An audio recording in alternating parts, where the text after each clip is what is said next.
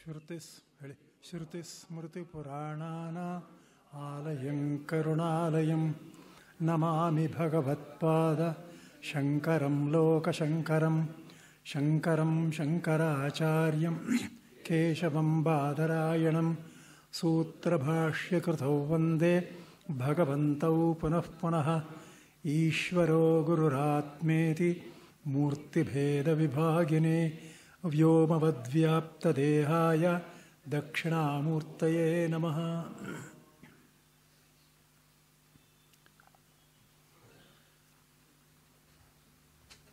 ಅಧ್ಯಾಸ ಭಾಷೆದ ವ್ಯಾಖ್ಯಾನ ಆಯಿತು ಸಾಕಷ್ಟು ಪ್ರಶ್ನೆಗಳು ಕೇಳಿದ್ದು ಆಯಿತು ಈಗ ವಿಶದವಾಗಿ ಒಂದು ವಿಷಯ ಹೇಳಬೇಕಾಗಿದೆ. ಇದನ್ನು ಆಗಲೇ ಹೇಳಿದ್ದರೂ ಕೂಡ ವಿಶದವಾಗಿ ತಿಳಿಸ್ಬೇಕಾಗಿದೆ. ಅಂದರೆ ವೇದಾಂತದಲ್ಲಿ ಅನೇಕರಿಗೆ ಬೇರೆ ಬೇರೆ ಬೇರೆ ಬೇರೆ ಥರ ಪ್ರಶ್ನೆಗಳು ಬರುತ್ತೆ. ಬೇರೆ ಬೇರೆ ಥರ.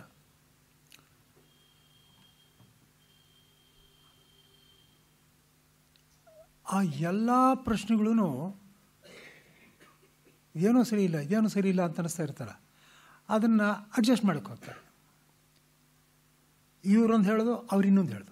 ಅವ್ರಿನ್ನೊಂದು ಹೇಳೋದು ಮತ್ತೊಂದು ಹೇಳೋದು. ಒಬ್ರಿಗೊಬ್ರು ಚರ್ಚೆ ಚರ್ಚೆ ಚರ್ಚೆ ಚರ್ಚೆ ಆಗ್ತಲೇ ಇರ್ತದೆ ಆದ್ದರಿಂದ ಸಾಧಾರಣವಾಗಿ ಶ್ರೋತೃಗಳು ವೇದಾಂತ ಸಿದ್ಧಾಂತವನ್ನು ಕೇಳಿದಾಗ, ಏನೋ ಸುಮ್ಮನೆ ಅವರು ಒಂದು ಮಾತಾಡ್ತಾರೆ ಇವ್ರು ಮಾತಾಡ್ತಾರೆ ಮಾತಾಡ್ತಲೇ ಇದ್ದಾರಲ್ಲ ವಿವೇಕಿಗಳು, ಬುದ್ಧಿವಂತರು ಅವ್ರಿಗೇನು ಕಷ್ಟ ಇಲ್ಲ ಅರ್ಥ ಮಾಡ್ಕೊಳ್ಳೋದಕ್ಕೆ. ಇವ್ರೇನು ಒಬ್ಬರು ಒಬ್ಬರು ಒಂದೊಂದು ಥರ ಮಾತಾಡ್ತಾ ಇದ್ದಾರಲ್ಲ ಅಂತ ಸಂಶಯ ಬರ್ತದೆ ಆದ್ದರಿಂದ ಇದಮಿತ್ತಂ ಹೀಗೇನೆ ಅಂತ ನಿಸ್ಪಷ್ಟವಾಗಿ ತಿಳ್ಕೊಳ್ಳೋದು ಕಷ್ಟವಾಗಿದೆ ಶ್ರೋತೃಗಳಿಗೆ. ಇದಕ್ಕೆ ಎಲ್ಲ ಮೂಲ ಕಾರಣ ದುರದೃಷ್ಟವಶಾತ್ ಎಲ್ಲಿದೆ ಅಂದರೆ ಸೂತ್ರಶಾಸ್ತ್ರದ ಮೊದಲನೇ ಅಧ್ಯಾಯದ ಮೊದಲನೇ ಪಾದದ ಮೊದಲನೇ ವಾಕ್ಯದ ಮೊದಲನೇ ಪದದಲ್ಲಿದೆ. ಇದಕ್ಕೆಲ್ಲ ಮೂಲ ಕಾರಣ. ಅಂದರೆ ಯುಷ್ಮದಸ್ಮತ್ ಪ್ರತ್ಯೇಕೋಚರೋ ವಿಷಯ ವಿಷಿಣೋ ತಮ್ಮ ಪ್ರಕಾರ ವಿರುದ್ಧ ಸ್ವಭಾವಯೋ ಅಂತ ಇಲ್ಲಿದ್ದರೆ ಸಾಧಾರಣವಾಗಿ ಇದರಲ್ಲಿ ಬಹಳ ಹಿಂದಿನೇ ಮಾಡಿಬಿಟ್ರಿ ಈ ಕೆಲಸ. ಅಸ್ಮತ್ ಪ್ರತ್ಯೇಗೋಚರ ಅಂದಾಗ, ಶುದ್ಧವಾಗಿರೋ ಆತ್ಮನು ಅಂತ ಇಟ್ಕೊಂಡ್ಬಿಟ್ರು. ಗೊತ್ತಾಯ್ತಾ ಇಲ್ಲಿ ಅಸ್ಮತ್ ಪ್ರತ್ಯಗೋಚರ ಅಂತ ಅದಕ್ಕೆ ಆತ್ಮ ನೋಡೋದು ಸರಿಯಲ್ಲ. ಹೋದರೆ ಹೋಗ್ಕೊಳ್ಳಿ, ನಾವು ಹೇಗೆ ತೀರ್ಮಾನ ಮಾಡಬೇಕು? ನಾವೇ ಏನಾದರೂ ಇಂಟರ್ಪ್ರಿಟ್ ಮಾಡಿ ಇನ್ನೊಂದು ಥರ ಹೇಳಬೇಕಂದ್ರೆ ಹಾಗಲ್ಲ. ಭಾಷ್ಯಕಾರರೇ ಹೇಳಿದ್ದಾರೆ ಭಾಷ್ಯಕಾರೇನು ಹೇಳಿದ್ದಾರೆ ಆತ್ಮನ ನೀಡಬಾರ್ದು ಅಲ್ಲಿ ಕ್ಷೇತ್ರಜ್ಞನ ನೀಡಬೇಕು ಅಂತ ಅಲ್ಲಿ ತಿಳಿಸಿದ್ದಾರೆ ಭಗವದ್ಗೀತಾ ಭಾಷೆಯಲ್ಲಿ ಏನು ತಿಳಿಸಿದ್ದಾರೆ? ಕ್ಷೇತ್ರ ಕ್ಷೇತ್ರಜ್ಞೋ ವಿಷಯ ವಿಷ್ಣೋ ಭಿನ್ನ ಸ್ವಭಾವಯೋ ಅಂತ ಹೇಳಿದ್ದಾರೆ. ಇದೇ ವಾಕ್ಯವೇ. ಅದರಿಂದ ನಾನು ಇವತ್ತಿನಿಂದ ಪ್ರಾಯಶಃ ಎರಡು ಮೂರು ದಿವಸ ಆಗುತ್ತೆ. ಈ ಒಂದು ತಪ್ಪಿನ ಆಧಾರದ ಮೇಲೆ ವೇದದಿಂದ ಇರೋ ಎಲ್ಲ ಸಂಶಯಗಳು ಆಧಾರ. ಆದ್ದರಿಂದ ಇಲ್ಲಿ ನಾವು ನಿಷ್ಪಕ್ಷಪಾತವಾಗಿ ಯಾವುದು ಇಟ್ಕೋಬಾರ್ದು ಒಂದೇ ಒಂದು ನಮಗೆ ಪಕ್ಷಪಾತ ಇರೋದು ಅಂದರೆ ಶಂಕರ ಭಾಷ್ಯ. ನಾವು ಶಂಕರ ಅಂತ ತಿಳ್ಕೊಳ್ಬೇಕು ಅಂತ ತಾನು ಹೊರಟಿರೋದು? ಅದಕ್ಕೋಸ್ಕರ. ಅವ್ರನ್ನ ಇಟ್ಕೊಂಡ್ಬಿಡ್ಬೇಕು. ನಾವು ಒಂದು ಕಲ್ಪನೆ ಮಾಡೋಕ್ಕೂ ಹೋಗಬಾರ್ದು. ಅಲ್ಲಿ ಆ ಏ ಏನೇನು ವಾಕ್ಯಗಳಿದೆಯೋ ಹಾಗಾಗೆ ತಗೊಂಡು ನೋಡಿಬಿಟ್ರೆ ನಮಗೆ ಒಂದು ಕಡೆ ಸಂಶಯ ಬರೋಕ್ಕೆ ಸಾಧ್ಯವಿಲ್ಲ ಅನ್ನೋದು ನನಗೆ ಮನದಟ್ಟಾಗಿದೆ. ಅದರಿಂದ ಅದನ್ನು ಇವಾಗ ತಿಳಿಸೋಕೆ ಪ್ರಯತ್ನ ಪಡ್ತೀನಿ. ಮೊದಲನೇದಾಗಿ, ಯಾವ ರೀತಿ ಅಸ್ಮತ್ ಪ್ರತ್ಯಗೋಚರ ಸ್ಥಾನದಲ್ಲಿ ಶುದ್ಧಾತ್ಮನ ಇಡೋದಕ್ಕೆ ಸಾಧ್ಯವಿಲ್ಲ ಅನ್ನೋದು ಮುಂಚೆ ಹೇಳ್ತೀನಿ. ಆಮೇಲೆ ಹಾಗಿಟ್ಟಿರೋದ್ರಿಂದ ಏನೇನು ವೇದಾಂತ ಕಾಣಾಹುತ ಆಗಿದೆ ಅನ್ನೋದನ್ನು ಹೇಳ್ತೀನಿ. ಒಬ್ಬರೊಬ್ಬರು ಯಾರ ಹತ್ರ ಪುಸ್ತಕ ಇದೆ, ತೆಗೆದಿಟ್ಕೊಂಡು ನೋಡಿ. ಒಂದೊಂದು. ಗೊತ್ತಾಯ್ತಲ್ವಾ? ಏನಿದೆ ಅಧ್ಯಾಸ ಭಾಷ್ಯದ ಮೇಲಿನ ವ್ಯಾಖ್ಯಾನಕ್ಕೆ ಪರಿಶಿಷ್ಟವಾಗಿ ಕೆಲವು ಮಾತುಗಳು. ಅಧ್ಯಾಸ ಭಾಷ್ಯೋ ಭಾಷ್ಯೋಕ್ತ ಅಸ್ಮತ್ ಪ್ರತ್ಯಗೋಚರ ಪ್ರತ್ಯಗಾತ್ಮನು ಅಲ್ಲಿ ಪ್ರತ್ಯಗಾತ್ಮನು ಅಂತಲೂ ಹೇಳಿದ್ದಾರೆ. ಅಸ್ಮತ್ ಪ್ರತ್ಯಗೋಚರ, ಪ್ರತ್ಯಗಾತ್ಮ ವಿಷಯೀ ಇಷ್ಟು ಅಲ್ಲಿ ಹೇಳಿದ್ದಾರೆ. ಅಲ್ಲಿ ಹೇಳೋದು ಆ ವಾಕ್ಯದಲ್ಲಿರೋದು ಅಷ್ಟೇ. ಅವನು ಶುದ್ಧಾತ್ಮನಾಗಿರುವುದು ಸಾಧ್ಯವಿಲ್ಲ. ಎಂದರೆ ಪ್ರತ್ಯಗಾತ್ಮ ಅಂದಾಗ ಏನರ್ಥ? ಒಳಗಡೆ ಇರೋ ಆತ್ಮನು ಅಂತ. ಇವಾಗ ನಿಜವಾಗಲೂ ಒಳಗಡೆ ಇರೋ ಆತ್ಮನು ಅಂದರೆ ಇಬ್ಬರು ಇರೋಕ್ಕೆ ಸಾಧ್ಯ. ಇಬ್ರಿದಾರೆ ಇಬ್ಬರಿದ್ದಾರೆ ಅಂದರೆ ಒಬ್ಬನು ನಾನೇ. ಇನ್ನೊಬ್ಬನು ಪರಮಾತ್ಮ, ಇನ್ನೊಬ್ಬನು ಶುದ್ಧಾತ್ಮ. ನಾನು ಪ್ರತ್ಯೇಗಾತ್ಮನೇ, ಅವನು ಪ್ರತ್ಯೇಗಾತ್ಮನೇ. ಆದರೆ ನಾನು ಪ್ರತ್ಯೇಗಾತ್ಮನ ಮಟ್ಟಿಗೆ ಅವನು ಕೇವಲ ಪ್ರತ್ಯೇಗಾತ್ಮನಲ್ಲ, ಅವನು ಸರ್ವಾತ್ಮನು. ನೋಡಿ ಇಲ್ಲಿ ವ್ಯತ್ಯಾಸ ಗೊತ್ತಾಗ್ತಾ ಇದ್ದೀರಾ ಶುದ್ಧಾತ್ಮನೂ ಪ್ರತ್ಯೇಗಾತ್ಮನೇ. ನಾನು ಪ್ರತ್ಯಗಾತ್ಮನೇ. ಆದರೆ ನಾನು ಪ್ರತ್ಯಗಾತ್ಮನ ಮಾತ್ರ. ಅವನು ಸರ್ವಾತ್ಮನು. ಅಂದ್ರೇನು? ಎಲ್ಲರ ಹೃದಯದಲ್ಲೂ ಅವನೇ ಇರೋದು. ಗೊತ್ತಾಯ್ತಾ? ಆದರೆ ಅವನು ಯಾರು ಅಂತ ನಮ್ಗೆ ಗೊತ್ತಿಲ್ಲ. ಎಲ್ಲರ ಹೃದಯದಲ್ಲೂ ಇರೋದು ಅವನೇ. ಎಲ್ಲರ ಹೃದಯದಲ್ಲೂ ಇರೋದೇನೋ? ಎಲ್ಲ ಜಡ ವಸ್ತುಗಳಲ್ಲಿರೋದು ಅವನೇ ಅಂತ ನನಗೆ ಗೊತ್ತಿಲ್ಲ. ಗೊತ್ತಾಯ್ತಲ್ಲ? ಇವಾಗ ಗೊತ್ತಿಲ್ಲ ಅನ್ನೋದನ್ನ ಮುಂಚೆ ಗೊತ್ತು ಮಾಡ್ಕೋಬೇಕು. ಅಧ್ಯಾಸ ಭಾಷೆ ಇರೋದು ಯಾತಕ್ಕೆ ಅಂದರೆ ನನಗೆ ಅವ್ನು ಗೊತ್ತಿಲ್ಲ ಅಂದಾಗ ಅವ್ನು ತಿಳ್ಕೊಂಡ್ರೆ ನಿನ್ನ ಸಂಸಾರ ದೂರವಾಗುತ್ತೆ ಅಂತ ಹೇಳಿದೆ. ಅದಕ್ಕೆ ನಾನು ನನಗೆ ನಾನು ಯಾರು ಅಂತ ನನಗೆ ಗೊತ್ತಿಲ್ಲ ಅನ್ನೋ ನಾನು ತಿಳ್ಕೋಬೇಕು. ನಾನು ಗೊತ್ತಿಲ್ಲ ಅಂತ ತಿಳಿಸೋದೇ ಅಧ್ಯಾಸ ಭಾಷೆಯ ಉದ್ದೇಶ. ನೋಡಿ ಇನ್ನೊಂದ್ಸಲ, ನಾನು ಆ ಶುದ್ಧಾತ್ಮನು ಅಂತ ನನಗೆ ಗೊತ್ತಿಲ್ಲ. ಪ್ರತ್ಯೇಗಾತ್ಮನು ಅಂದರೆ ನಾನು ಅಂತ ಏನೋ ತಿಳ್ಕೊಂಡಿದ್ದೀನಿ. ನಾನು ಅಸ್ಮತ್ ಪ್ರತ್ಯೇಗೋಚರ ಪ್ರತ್ಯೇಗಾತ್ಮನು. ಇಷ್ಟೇ ನಂಗೆ ಗೊತ್ತಿರೋದು. ಆದರೆ ಆ ತುರಿ ಆತ್ಮನ ನನಗೆ ಗೊತ್ತಿಲ್ಲ. ನನಗೆ ಗೊತ್ತಿಲ್ಲ ಅಂತ ತಿಳಿಸೋದು ಅಧ್ಯಾಸ ಭಾಷೆದ ಉದ್ದೇಶ. ನಾನು ಯಾರು ಅಂತ ತಿಳಿಸೋದು ಅಲ್ಲ. ನನಗೆ ಗೊತ್ತಿಲ್ಲ ಅಂತ ತಿಳಿಸೋದು ಮಟ್ಟಿಗೆ ಅಧ್ಯಾಸ ಭಾಷೆದ ಉದ್ದೇಶ. ಗೊತ್ತಾಗ್ತಾ ಇದೆ ಅಂದರೆ ಅಧ್ಯಾಸ ಭಾಷೆ ಏನು ಹೇಳಿದೆ ಅಂದರೆ, ನೋಡಪ್ಪ, ನೀನೇನೋ ಸಹಜವಾಗಿ ನಿನ್ನ ಗಂಡಸು, ಹಿಂಗಸು ಇತ್ಯಾದಿ ಜಾಗೃತಿನ ಅನುಭವದಿಂದ ತಿಳ್ಕೊಳ್ತಾ ಇದ್ದೀಯಾ ಆದರೆ ನೀನು ನಿನ್ನದೇ ಅನುಭವಗಳಾಗಿರ್ತಕ್ಕಂಥ ಸ್ವಪ್ನ ಸುಷುಪ್ತಿಗಳನ್ನು ವಿಂಗಡಿಸ್ಕೊಂಡಿಲ್ಲ ನೀವು ವಿಂಗಡಿಸಿದ್ರೆ ಏನು ಗೊತ್ತಾಗುತ್ತೆ ಅಂದರೆ ನೀನು ಶರೀರ ಅಲ್ಲ ಅಂತ ನಿಂಗೆ ಸ್ಪಷ್ಟವಾಗಿ ಗೊತ್ತಾಗುತ್ತೆ. ಅದು ಗೊತ್ತಾದ ಮೇಲೆ, ಸುಷುಪ್ತಿ ಅನುಭವದಿಂದ ಗೊತ್ತಾದ ಮೇಲೆ ಜಾಗ್ರತ್ನಲ್ಲಿ ನಾನು ನನ್ನ ಬಗ್ಗೆ, ನಾನು ಶರೀರಾದಿಗಳು ಅಂತ ಇಟ್ಕೊಂಡಿರೋ ಅನುಭವ ತಪ್ಪು ಅನ್ನೋದು ಗೊತ್ತಾಗುತ್ತೆ. ಇಷ್ಟೇ ಅಲ್ಲಿರೋದು. ಅಲ್ಲಿ ಏನು ಹೇಳಿರೋದು ಅಂದರೆ ನೋಡು, ನೀನು ನೀನು ಅಂದರೆ ಪ್ರತ್ಯೇಕಾತ್ಮನು ಮಾತ್ರ, ಸರ್ವಾತ್ಮನಲ್ಲ. ನೀನು ಅಂದರೆ ಶರೀರಕ್ಕಿಂತ ಬೇರೆ ಇರೋನು ಅಂತ ಮಟ್ಟಿಗೆ ತಿಳ್ಕೊಳ್ಬೇಕು ಇವಾಗ. ಅಷ್ಟು ತಿಳ್ಕೊಂಡ್ರೆ ಸಾಕು. ಆಮೇಲೆ ಎಚ್ಚರಿಕೆಯಲ್ಲಿ ನಾನು ಶರೀರದೊಂದಿಗೆ ಸಂಬಂಧ ಇಟ್ಕೊಂಡಿದ್ದೀನಿ. ಆದ್ದರಿಂದ ನಾನು ತಿಳ್ಕೊಂಡಿರೋ ತಪ್ಪು. ಎಚ್ಚರಿಕೆಯಿಂದ ನನ್ನ ಜ್ಞಾನ ನಾನು ಉಂಟು ಮಾಡಿಕೊಂಡ್ರೆ ತಪ್ಪು. ಇದನ್ನು ತಿಳಿಸೋದು ಉದ್ದೇಶ. ನೋಡಿ, ಇದನ್ನು ತಿಳಿಸ್ಬೇಕಾದ್ರೆ ಶಾಸ್ತ್ರ ಒಂದು ಆಡಬಾರ್ದು. ಯಾಕಂದ್ರೆ ಶಾಸ್ತ್ರ ಹೇಳ್ಕೊಡೋದಲ್ವೇ ಅವನ ಉದ್ದೇಶ? ಶಾಸ್ತ್ರ ಮುಂದೆ ಹೇಳ್ಕೊಡ್ಬೇಕು, ಇವಾಗ ಹೇಳಬಾರ್ದು. ಆದ್ದರಿಂದ ಅವನ ಅನುಭವದಲ್ಲೇ ತೋರಿಸಿದ್ದಾರೆ.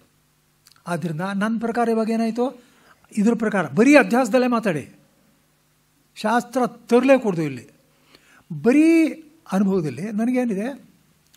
ಸುಷುಪ್ತಿ, ನಾನಿಲ್ಲಿ ಶರೀರಾದಿಗಳಿಂದ ಬೇರೆ ಇದ್ದೀನಿ ಅನ್ನೋದು ಅತ್ಯಂತ ಸ್ಪಷ್ಟ. ಭಾಷಿಕಾರ ಹೇಳಿದ ಎಂಥ ಮೂರ್ಖರು ಅಂದರೆ ಅದು ಕೂಡ ಗೊತ್ತಾಗಲ್ಲಲ್ಲ? ಎಷ್ಟು ದಡ್ಡರಾಗಿದ್ದೀವಿ ಅನಿಸುತ್ತೆ. ಸಂಕಟ ಆಗುತ್ತೆ. ಭಾಷಿಕಾರ ಹೇಳಬೇಕೆ ನಮಗೆ? ನಾನು ಬೇರೆ ಇದ್ದೀನಿ ಅಂತ. ಅವ್ರು ಹೇಳೋವರೆಗೂ ಗೊತ್ತಾಗಲಿಲ್ಲ ನಾವು ಎಂಥ ತಮಸ್ಸಿನಲ್ಲಿದ್ದೀವಿ ನೋಡಿ. ಅಲ್ವಾ? ಅಲ್ಲಿದ್ದೀನಿ. ನಾನಿದ್ದೀನಿ ಅಂತ ನನಗೆ ಗೊತ್ತು. ಆದರೆ ನಾನು ಯಾರು ಅಂತ ಗೊತ್ತಿಲ್ಲ. ನಾನಿದ್ದೀನಿ ಅಂತ ಗೊತ್ತು. ಶರೀರ ಜೊತೆ ಸಂಬಂಧವಿಲ್ಲ ಅಂತಲೂ ಗೊತ್ತು. ಆದರೆ ಶರೀರದ ಮೇಲೆ ಸಂಬಂಧ ನೋಡ್ತಾ ಇದ್ದೀನಿ. ಗೊತ್ತಾ ಆದ್ದರಿಂದ ಇವಾಗ ಇಲ್ಲಿ ಆ ತುರಿ ಏನಂದ್ಕೊಂಡು ಸಾಧ್ಯವಿಲ್ಲ. ಯಾಕೆಂದರೆ ಆ ತುರಿ ಆತ್ಮನ ಯಾರು ನಂಗೆ ಗೊತ್ತಿಲ್ಲ. ಅವನು ಯಾರು? ಸೋನ್ವೇಷ್ಟವ್ಯ ಸವಿಜಿಜ್ಞಾಸಿತವ್ಯ ಅವನಿನ್ನೂ ಅವನ ಅನ್ವೇಷಣೆ ಮಾಡಬೇಕು. ಅವನ ಜಿಜ್ಞಾಸೆ ಮಾಡಬೇಕು. ಅವನ ವಿಚಾರ ನಂಗೆ ಗೊತ್ತೇ ಇಲ್ಲ. ಆದ್ದರಿಂದ ಆ ಶುದ್ಧಾತ್ಮನ ಪೂರ್ವದೃಷ್ಟವಲ್ಲ. ಆತ್ಮನ ಗೊತ್ತೇನಪ್ಪ ನನಗೆ ಗೊತ್ತಿಲ್ಲ. ಪೂರ್ವದೃಷ್ಟವಾಗಿ ಆಗದೇ ಇರೋದರಿಂದ ಅವನು ಸ್ಮೃತಿ ರೂಪದಲ್ಲಿ ಬರೋದು ಸಾಧ್ಯವಿಲ್ಲ. ಸ್ಮೃತಿ ರೂಪದಲ್ಲಿ ಬರೋ ಸಾಧ್ಯವಿಲ್ಲದೆ ಇರೋದರಿಂದ ಅಧ್ಯಾಸ ಮಾಡೋಕ್ಕಾಗೋದಿಲ್ಲ. ಯಾಕೆ? ಕೋಯಮಧ್ಯಾಸವನಾಮಿತಿ ಸ್ಮೃತಿರೂಪ ಪರತ್ರ ಪೂರ್ವದೃಷ್ಟ ಉಭಾಸ ಹಿಂದೆ ನೋಡಿರ್ತಕ್ಕಂಥ ಬೆಳ್ಳಿಯನ್ನು ನಾನು ಸ್ಮೃತಿಗೆ ತಂದುಕೊಂಡು ಇದನ್ನು ಇಲ್ಲಿ, ಇದನ್ನು ಶುಕ್ತಿಯನ್ನು ನಾನು ರಚಿತ ಅಂತ ತಿಳ್ಕೊಳ್ತಾ ಇದ್ದೀನಿ. ಗೊತ್ತಾಯ್ತಲ್ವ? ಆದ್ದರಿಂದ ಇಲ್ಲಿ ಅವನು ಇರೋಕ್ಕೆ ಸಾಧ್ಯವೇ ಇಲ್ಲ. ಯಾಕೆಂದರೆ ಈ ಡೆಫಿನೇಷನ್ನೇ ಅನ್ವಯವಾಗಲ್ಲ. ಸ್ಮೃತಿರೂಪ ಸಹ ಅನ್ನೋದೇ ಅನ್ವಯವಾಗಲ್ಲ. ಆಯಿತಾ? ಮುಂದೆ ನೋಡಿ. ಆ, ಅವನು ಆ ಪರಮಾತ್ಮನ ದೃಷ್ಟಿಯಿಂದ ಶಾಸ್ತ್ರ ಏನು ಹೇಳುತ್ತೆ? ಆತ್ಮೈವೇದಂ ಸರ್ವಂ ಅಂತ ಇದೆ. ಸರ್ವವೂ ಆತ್ಮನೇ ಅಂತಿದೆ. ಸರ್ವವೂ ಆತ್ಮನೇ ಆದ್ದರಿಂದ ಅವನಿಗೆ ಪರತ್ರವಾದ ಇನ್ನೊಂದಿಲ್ಲ. ಪರತ್ರ ಅಂದ್ರೇನು ಅವನಿಗಿಂತ ಬೇರೆ. ನೋಡಿ ಇನ್ನೊಂದು ಸಲ ಆ ಶುದ್ಧಾತ್ಮನಲ್ಲ ಅವನಿಗಿಂತ ಒಂದು ಬೇರೆ ಅಲ್ಲ. ಅವನಿಗಿಂತ ಬೇರೆ ಇಲ್ಲವೇ ಇಲ್ಲ. ಎಲ್ಲವೂ ಅವನೇ. ಇವಾಗ ಎಲ್ಲವೂ ಅವನೇ ಆಗಿರುವಾಗ ಈ ಶರೀರಾದಿಗಳು ಅವನೇ ಅಂತ ಆಯ್ತೋ ಇಲ್ವೋ? ಹೌದಲ್ವಾ? ಈ ಶರೀರಾದಿಗಳನ್ನು ನಾನು ಅವನಲ್ಲಿ ಅಧ್ಯಾಸ ಮಾಡೋಕ್ಕೆ ಸಾಧ್ಯವಾ? ಅವನ ಪರತ್ರ ಅಲ್ವಲ್ಲ? ಈ ಶರೀರ ಅಧ್ಯಾಸ ಮಾಡೋದು ಅನ್ನೋ ಪ ವಾಕ್ಯಕ್ಕೆ ಅರ್ಥವಿಲ್ಲ. ಯಾಕೆಂದರೆ ಶರೀರನೂ ಅವನೇ. ಪಾಯಿಂಟ್ ಗೊತ್ತಾಗ್ತಾ ಇದ್ದೇನೆ ರೀ ಪ್ರತಿಯೊಬ್ಬರಿಗೂ. ಅವನು ಅವನು ಶರೀರನೂ ಅವನೇ. ಎಲ್ಲ ಅವನೇ. ಯಾವುದನ್ನು ತೆಗೆದು ಅಧ್ಯಾಸ ಮಾಡೋದು ಅವನ ಮೇಲೆ? ಪರ, ಇದು ಅವ ಅಧ್ಯಾಸ ಅಂದರೆ ಏನು? ಎರಡು ಇರಬೇಕು. ಒಂದು, ಎರಡು ಬೇರೆ ಬೇರೆ ಇರಬೇಕು. ಅತ್ಯಂತ ವಿವಿಕ್ತ ಯೋಹೋ, ಬೇರೆ ಬೇರೆ ಇರಬೇಕು. ಆದರೆ ವಿವಿಕ್ತವಾಗಿ ಇಲ್ಲವೇ ಇಲ್ಲ. ಇದು ಅವನು ಬಿಟ್ಟು ಇಲ್ಲವೇ ಇಲ್ಲ. ಅಧ್ಯಾಸ ಮಾಡೋಕ್ಕಾಗುತ್ತಾ? ಗೊತ್ತಾಯ್ತಾ? ಆದ್ದರಿಂದ ಪರತ್ರವಾದ್ಯೇನೂ ಇಲ್ಲ. ಆದ್ದರಿಂದ ಶುದ್ಧಾತ್ಮನಿಗೆ ಸ್ಮೃತಿರೂಪ ಪರತ್ರ ಪೂರ್ವದೃಷ್ಟ ಔಭಾಸ ಎಂಬ ಅಧ್ಯಾಸ ಲಕ್ಷಣ ವ್ಯಾಖ್ಯವೇ ಅನ್ಯವಾಗೋದಿಲ್ಲ ಗೊತ್ತಾಗ್ತಾ ಇದೆಯಾ?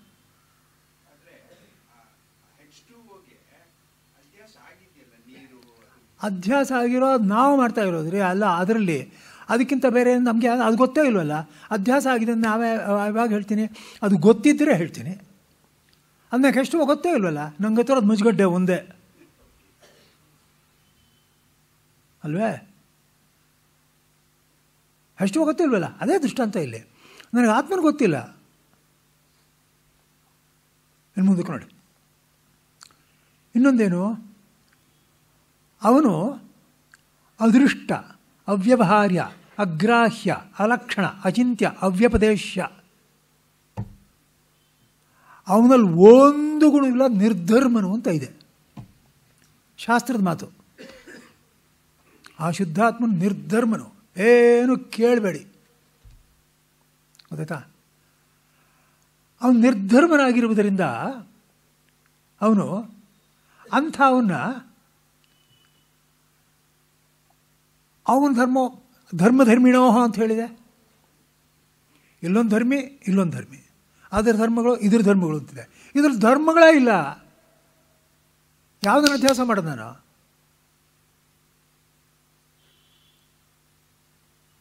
ನೋಡಿ ಅಧ್ಯಾಸ ಮಾಡಬೇಕು ಅಂದರೆ ಎರಡೂ ಗೊತ್ತಿರಬೇಕು ಅನ್ನೋದು ಇಟ್ಕೊಳ್ಳಿ. ಗೊತ್ತಿರಬೇಕು ಅಂದರೆ ಸ್ವರೂಪ ಗೊತ್ತಿರಬೇಕು ಅಂತಲ್ಲ, ಬೇರೆ ಬೇರೆ ಅಂತ ಗೊತ್ತಿರಬೇಕು. ನಾವು ಮಾತಾಡ್ತಾ ಇರೋ ಸ್ವರೂಪದ ವಿಷಯ ಅಲ್ಲ. ಸ್ವರೂಪ ಇನ್ನು ಮುಂದಕ್ಕೆ ಮಾತಾಡೋದು. ಈಗ ಅಧ್ಯಾಸ ಅಂದಾಗ ಸುಮ್ಮನೆ ಶುಕ್ತಿ, ರಜತ ಬೇರೆ ಬೇರೆ ಅಂತ ಗೊತ್ತು. ಈ ಶುಕ್ತಿ ಅನ್ನೋದು ಯಾವುದೋ ಒಂದು ಯಾವುದೋ ಹೇಳ್ತಾರಲ್ಪ ಕೆಮಿಸ್ಟ್ರಿನಲ್ಲಿ? ಯಾವುದೋ that is a stone. Silver ಅಂದರೆ ಇದೊಂದು ಮೆಟಲ್ಲು. ಎಲ್ಲಾದ್ರಲ್ಲೂ ಇರೋದು ಆ್ಯಟಮ್ಸ್ ಅಂತ ನನಗೆ ಗೊತ್ತಾಗಬೇಕಾಗಿಲ್ಲ. ಶುಕ್ತಿ ರಥ ಬೇರೆ ಅಂತ ಗೊತ್ತಾದರೆ ಸಾಕು. ಆತ್ಮನ ವಿಷಯ ಪ್ರ ನನ್ನ ವಿಷಯದಲ್ಲಾದರೆ ಸುಷುಪ್ತಾತ್ಮನ ವಿಷಯದಲ್ಲಾದರೆ ಕ್ಷೇತ್ರ ವಿಷಯದಾದರೆ ನಾನು ಅದು ಬೇರೆ ಅಂತ ಗೊತ್ತಲ್ಲ ಸುಷುಪ್ತಿಯಲ್ಲಿ ಅನುಭವ ಇದೆಯಲ್ಲ? ನಾನಲ್ಲಿದ್ದೇನೆ ಸಂಬಂಧವಿಲ್ಲ ಇಲ್ಲಿದೆ, ಬೇರೆ. ಸಂಬಂಧ ಇಲ್ಲದೆ ಅದು ನೋಡ್ತಾ ಇದ್ದೀನಿ ಅಂತ ಅಧ್ಯಾಸ ಗೊತ್ತಾಗುತ್ತೆ. ಧರ್ಮ ಧರ್ಮಿಣ ಅನ್ನೋ ಧರ್ಮವೇ ಇಲ್ಲದೆ ಇರೋ ಅಧ್ಯಾಸ ಮಾಡೋದು ಹೇಗೆ? ಇಷ್ಟು ಮೇಲೆ ನೋಡಿ. ಅವನು, ಆತ್ಮನು ಏಕಾಂತೇನ ಅವಿಷಯನು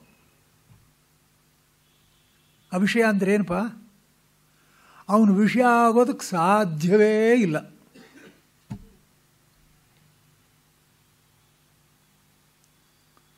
ಆದರೆ ಈ ನಾನು ಪ್ರತ್ಯೇಗಾತ್ಮನ ಅವನಿದ್ದಾನೆ ಅವನು ಅವನು ವಿಷಯ ಆಗೋಕ್ಕೆ ಸಾಧ್ಯವಿಲ್ಲ, ಗೊತ್ತು.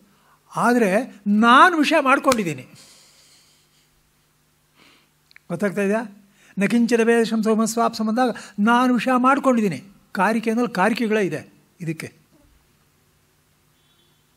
ಅವನು ಗೋಚರಕ್ಕೆ ಬರ್ತಾ ಇದ್ದಾನೆ ಜಾಗ್ರತ್ನಲ್ಲಿ. ಅವನು ಅಸ್ಮತ್ ವಿಷಯಕ್ಕೆ ಅಹಂ ಪ್ರತ್ಯೇಕ ವಿಷಯನಾಗಿದ್ದಾನೆ ಅಂತ ಸ್ಪಷ್ಟವಾಗಿದೆ. ನಾನು ವಿಷಯ ಮಾಡ್ಕೊಂಡಿದ್ದೀನಿ. ಅಲ್ಲ? ಅಲ್ಲಲ್ಲ, ಒಂದು ನಿಮಿಷ. ಪ್ರಾಜ್ಞೆ ತರೋದು ಆಮೇಲೆ ನೋಡೋಣ ಆತ್ಮ ಶುದ್ಧಾತ್ಮನು ಹಾಂ ನಮಗೆ ಗೋಚರನೇ ಅಲ್ಲ ಅವನು ವಿಷಯ ಬರೀ ವಿಷಯ ಅಂತ ಹೇಳಿದ್ರೆ ಈಗ ಅಧ್ಯಾಸ ಅಧ್ಯಾಸವಾಗಿ ಅಧ್ಯಾಸವಿಲ್ಲದ ವಿಚ ಕಾಲದ ವಿಚಾರವನ್ನು ನಾವು ಮಾತಾಡಬಾರ್ದು ಅವಾಗಿನದನ್ನ ಮಾತಾಡಿದ್ರೆ ಶುದ್ಧಾತ್ಮನು ಅವನು ಬರೀ ವಿಷಯ ಅಂತಲೇ ಹೇಳಬೇಕಾಗುತ್ತೆ ಹಾಂ ಹಾಂ ಆದರೆ ಅಧ್ಯಾಸ ಕಾಲದಲ್ಲಿ ಮಾತನ್ನು ಹೇಳಬೇಕಾದ್ರೆ ಅವನು ಅಸ್ಮತ್ ಪ್ರತ್ಯಯಕ್ಕೆ ವಿಷಯನಾಗೇ ತೋರ್ತಾ ಇದ್ದಾನೆ ಅವನೇ ಜೀವ ಅಥವಾ ಕ್ಷೇತ್ರಜ್ಞ ಅಂತ ಯಾಕೆ ಹೇಳಬಾರ್ದು ಅಂತ ನೀವು ಹೇಳೋದು. ಅದೇ ಅಲ್ಲ ಅದೇ ಗೊತ್ತಾಯಿತು. ಅದೇ ಅದೇ ಇವಾಗ ಅದೇ ಇವಾಗ ನಿಮ್ಮದು ಅಂದರೆ ನಿಮ್ಮ ನಾನು ಹೇಳ್ತಾ ಇರೋದು ನಿಮ್ಮ ಆಕ್ಷೇಪ. ಹತ್ತಾನೆ ಅದು. ಸಾಗಲಿ ಸಂಶಯ ಸಂಶಯ. ಹೌದಾನೆ ಇವಾಗ?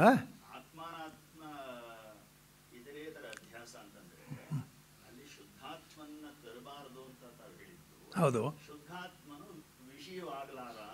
ಇದರೇತರ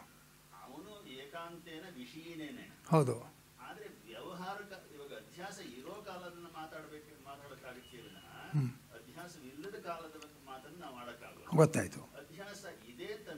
ಹಾಂ. ಅಂತ ಯಾಕೆ ಹೇಳಬಾರ್ದು ಅಂತ. ಹೌದಾನೆ ನಾನು ಹೇಳ್ತಾ ಇರೋದು. ನೋಡಿ. ಹೇಳ್ತೀನಿ ಕೇಳಿ. ಒಂದು ನಿಮಿಷ ಒಂದು ನಿಮಿಷ ಇರೋದು ಇವಾಗ ಇಲ್ಲೇನು ಹೇಳಿದೆ? ಅಂದರೆ ಶುಕ್ತಿ ರಜತ ಎರಡೂ ಬೇರೆ ಅಂತ ನನಗೆ ಗೊತ್ತಾಗಿರಬೇಕು. ಆವಾಗಲೇ ಅಧ್ಯಾಸ ಆಗೋದು.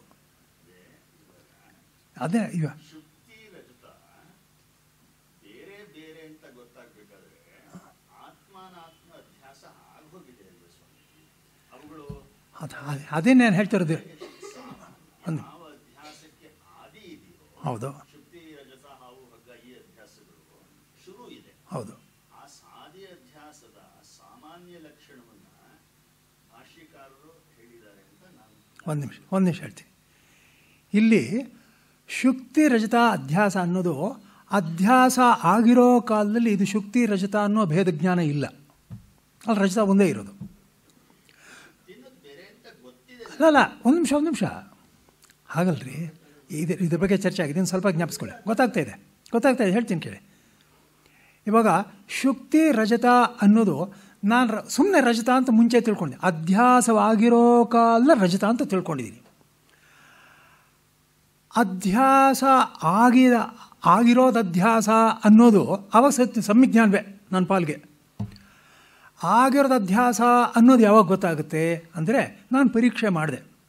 ಪರೀಕ್ಷೆ ಮಾಡಿದಾಗ, ಅರೇ ಇದು ಬೆಳ್ಳಿ ಅಲ್ಲ, ಶುಕ್ತಿ ಅಂತ ಗೊತ್ತಾಯಿತು. ಆವಾಗ ಶುಕ್ತಿ ಅಂತ ಗೊತ್ತಾದರೂ ಕೂಡ ಆವಾಗ ಗೊತ್ತಾಯಿತು, ಇದು ಶುಕ್ತಿ, ಅದು ರಜತ ಅಂತ ಬೇರೆ ಬೇರೆ ಅಂತಲೇ ಗೊತ್ತಾಯಿತು. ಒಂದೇ ಅಂತ ಗೊತ್ತಾಗಲಿಲ್ಲ. ಗೊತ್ತಾಯ್ತಲ್ಲ ಹಾಗೆಯೇ ಇಲ್ಲಿ ಏನಾಗಿದೆ ಅಂದರೆ, ಸುಷುಪ್ತಿ ಅವಸ್ಥೆಯಿಂದ ನೋಡಿಕೊಂಡಾಗ, ನಾನು ಸುಷುಪ್ತಿನಲ್ಲಿರೋನು, ನಿದ್ದೆ ಹೋಗೋನು. ನನಗೆ ಸಂಬಂಧವಿಲ್ಲ ಅಂತ ಗೊತ್ತು. ಇವಾಗ ನಾನು ಹೇಳ್ತಾ ಇರೋದಂದರೆ ನನಗೆ ಆಗಿರೋದು ಅಧ್ಯಾಸ ಅಂತ ನಾನು ತಿಳ್ಕೊಬೇಕು. ಜಾಗ್ರತ ಕಾಲದಲ್ಲಿ ಅಧ್ಯಾಸ ಆಗಿದೆ ಅಧ್ಯಾಸ ಆಗಿದೆ ಅಂತ ನಂಗೆ ಗೊತ್ತಿಲ್ಲ. ಸಮ್ಯಜ್ಞಾನ ಅದು. ಸುಷುಪ್ತಿಯನ್ನು ವಿವೇಚನೆ ಮಾಡಿದ ಮೇಲೆ ಅಧ್ಯಾಸ ಆಗಿದೆ ಅಂತ ಗೊತ್ತಾಗುತ್ತೆ. ಹೇಗೆಂದರೆ, ಮುಂಚೆ ನೋಡಿದಾಗ ಬೆಳ್ಳಿನೇ, ಆದರೆ ಪರೀಕ್ಷೆ ಮಾಡಿ ನೋಡಿದ ಮೇಲೆ ಬೇರೆ ಬೇರೆ ಅಂತ ಗೊತ್ತಾಯಿತು. ಆವಾಗ ನಾನು ತಿಳ್ಕೊಂಡಿದ್ದದ್ದು ಅಧ್ಯಾಸ ಅಂತ ಗೊತ್ತಾಯಿತು. ಹಾಗೆಯೇ ಇಲ್ಲಿ ಜಾಗ್ರತ ಕಾಲದಲ್ಲಿ ನಾನು ತಿಳ್ಕೊಂಡಿರೋ ಅಧ್ಯಾಸ ಅಂತ ಗೊತ್ತಾಗಬೇಕಾದ್ರೆ, ನಾನೆಲ್ಲ ಅಧ್ಯಾಸ ಮಾಡ್ಕೊಂಡಿದ್ದೀನಿ, ನಂಗೆ ಗೊತ್ತಾಗಬೇಕು. ಅಜ್ಞಾನ ನನಗಾದ್ದರಿಂದ ನಾನು ನೋಡಿದೆ ಇಲ್ಲೇ. ಸಂಬಂಧ ಇಲ್ವಲ್ಲ? ನಾನಿದ್ದೀನಿ. ಸಂಬಂಧ ಇಲ್ಲ. ನಾನಿದ್ದೀನಿ ಅಂದ್ರೆ ಯಾರೋ? ಸುಷುಪ್ತಾತ್ಮನು. ಅವನ ವರ್ಣ ಏನು ನಂಗೆ ಗೊತ್ತಿಲ್ಲ. ನಾನು ಅಂತ ಅಷ್ಟೇ ಗೊತ್ತು. ಅಂದರೆ ಇಲ್ಲಿ ಶುಕ್ತಿ ಅಂತ ಗೊತ್ತಾಯಿತು. ಶುಕ್ತಿ ಸ್ವರೂಪ, ಕೆಮಿಸ್ಟ್ರಿ ಗೊತ್ತಿಲ್ಲ ನನಗೆ ಶುಕ್ತಿ ಅಂತ ಗೊತ್ತಾಯಿತು. ಹಾಗೆ ನಾನು ಅಂತ ಗೊತ್ತಾಯಿತು. ಅದರ ಶರೀರ ಅಂತ ಗೊತ್ತಾಯಿತು. ಶುಕ್ತಿ ಅಂತ ಗೊತ್ತಾಯ್ತು. ರಜತ ಅಂತ ಗೊತ್ತಾಯ್ತು. ಈಗ ನನಗೆ ಬ- ಬೋಧೆ ಆಯಿತು. ಅಡಡ ನಾನು ರಜದ ಇದು ಅಂತ ಅಂದ್ಕೊಂಡಿದ್ದು ತಪ್ಪು ಅಂತ ನಂಗೆ ಗೊತ್ತಾಯಿತು. ಹಾಗೆಯೇ ಇವಾಗ ನಾನು ಶರೀರ ಅಂದ್ಕೊಂಡು ತಪ್ಪು ಅಂತ ನನಗೆ ಗೊತ್ತಾಯಿತು. ನಾನು ಯಾರು? ನನಗೆ ಗೊತ್ತಾಗಿದ್ದು ಅಂದರೆ ನಾನು ಸುಷುಪ್ತಾತ್ಮನು. ಇದು ನನಗೆ ಶರೀರ ಸಂಬಂಧವಿಲ್ಲ. ಆದರೆ ಶರೀರ ಸಂಬಂಧ ನೋಡ್ತಾ ಇದ್ದೀನಿ. ಆದ್ದರಿಂದ ನಾನು ಇಟ್ಕೊಂಡಿರೋ ಜ್ಞಾನ ತಪ್ಪು ಅಂತ ನನಗೆ ವೇದ್ಯವಾಯಿತು. ಅಷ್ಟೇ. ಇವಾಗ ಅಧ್ಯಾಸ ಬಿಟ್ಟಿಲ್ಲ. ನನಗಿರೋದು ಅಧ್ಯಾಸ ಅಂತ ಗೊತ್ತಾಯಿತು. ಎರಡಕ್ಕೂ ವ್ಯತ್ಯಾಸ ಇದೆ. ಪಾಯಿಂಟ್ ಮಾಡ್ಕೊಂಡ್ರೆ ನನಗೆ ಅಧ್ಯಾಸ ಇದೆ ಅಂತ ಗೊತ್ತಾಯ್ತು ವಿನಃ ಅಧ್ಯಾಸ ಬಿಟ್ಟು ಹೋಗಲಿಲ್ಲ. ಗೊತ್ತಾಯ್ತಲ್ವ? ಹಾಗೇನೆ ಇಲ್ಲಿ, ಅಧ್ಯಾಸವನ್ನು ತಿಳಿಸೋದಕ್ಕೋಸ್ಕರ, ನಾನು ಅಧ್ಯಾಸ ಮಾಡ್ತೀನಿ ತಿಳಿಸೋದಕ್ಕೋಸ್ಕರ ಇರೋದು, ಅಧ್ಯಾಸ ಭಾಷ್ಯ. ಗೊತ್ತಾಯ್ತಾ? ಆದ್ದರಿಂದ ನನಗೆ ಶುದ್ಧಾತ್ಮ ವಿಷಯ ಆಗ್ತದೆ ಶುದ್ಧಾತ್ಮ ವಿಷಯ ಗೊತ್ತೇ ಇಲ್ಲ ನನಗೆ. ಅದರಿಂದ ಅಧ್ಯಾಸ ಮಾಡೋದಕ್ಕಾಗೋದಿಲ್ಲ ಅನ್ನೋ ಸ್ಪಷ್ಟ. ಯಾಕೆಂದರೆ ಇವಾಗ ಲಕ್ಷಣಕ್ಕೆ ಹಿಡಿಸೋದಿಲ್ಲ ಶಂಕರವಾಕ್ಯ ಬರ್ಕೊಂಬಂದು ನಾನು ಹೇಳ್ತೀನಿ ಅದು ನಾನೇನು ತಿಳ್ಕೊಂಡಿದ್ದೀನಿ ಇವಾಗ ನಾನು ಜ್ಞಾತರು ನಾನು ಜ್ಞಾನಿ ಅಂತ ತಿಳ್ಕೊಂಡಿದ್ದೀನಿ ಜ್ಞಾ-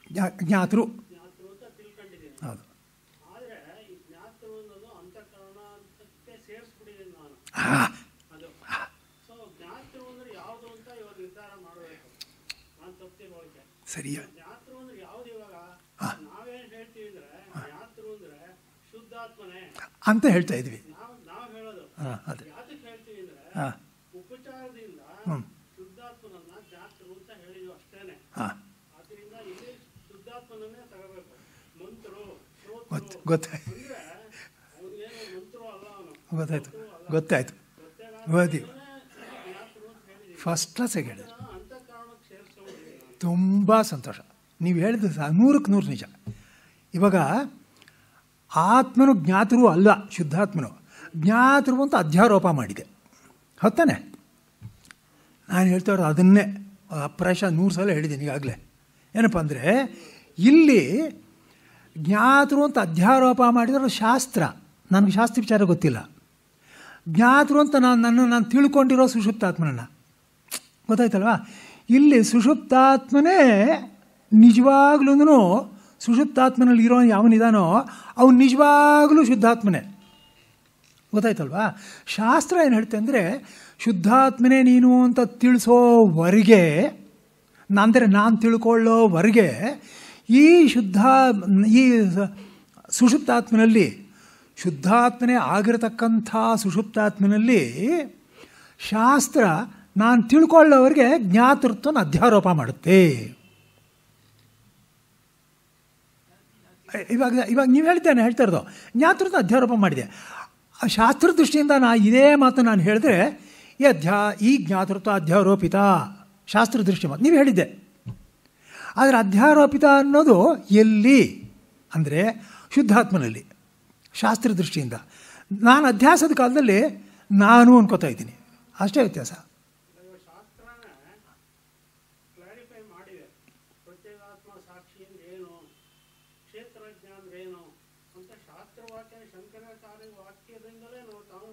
ಹೌದು. ಶಾಸ್ತ್ರನೇ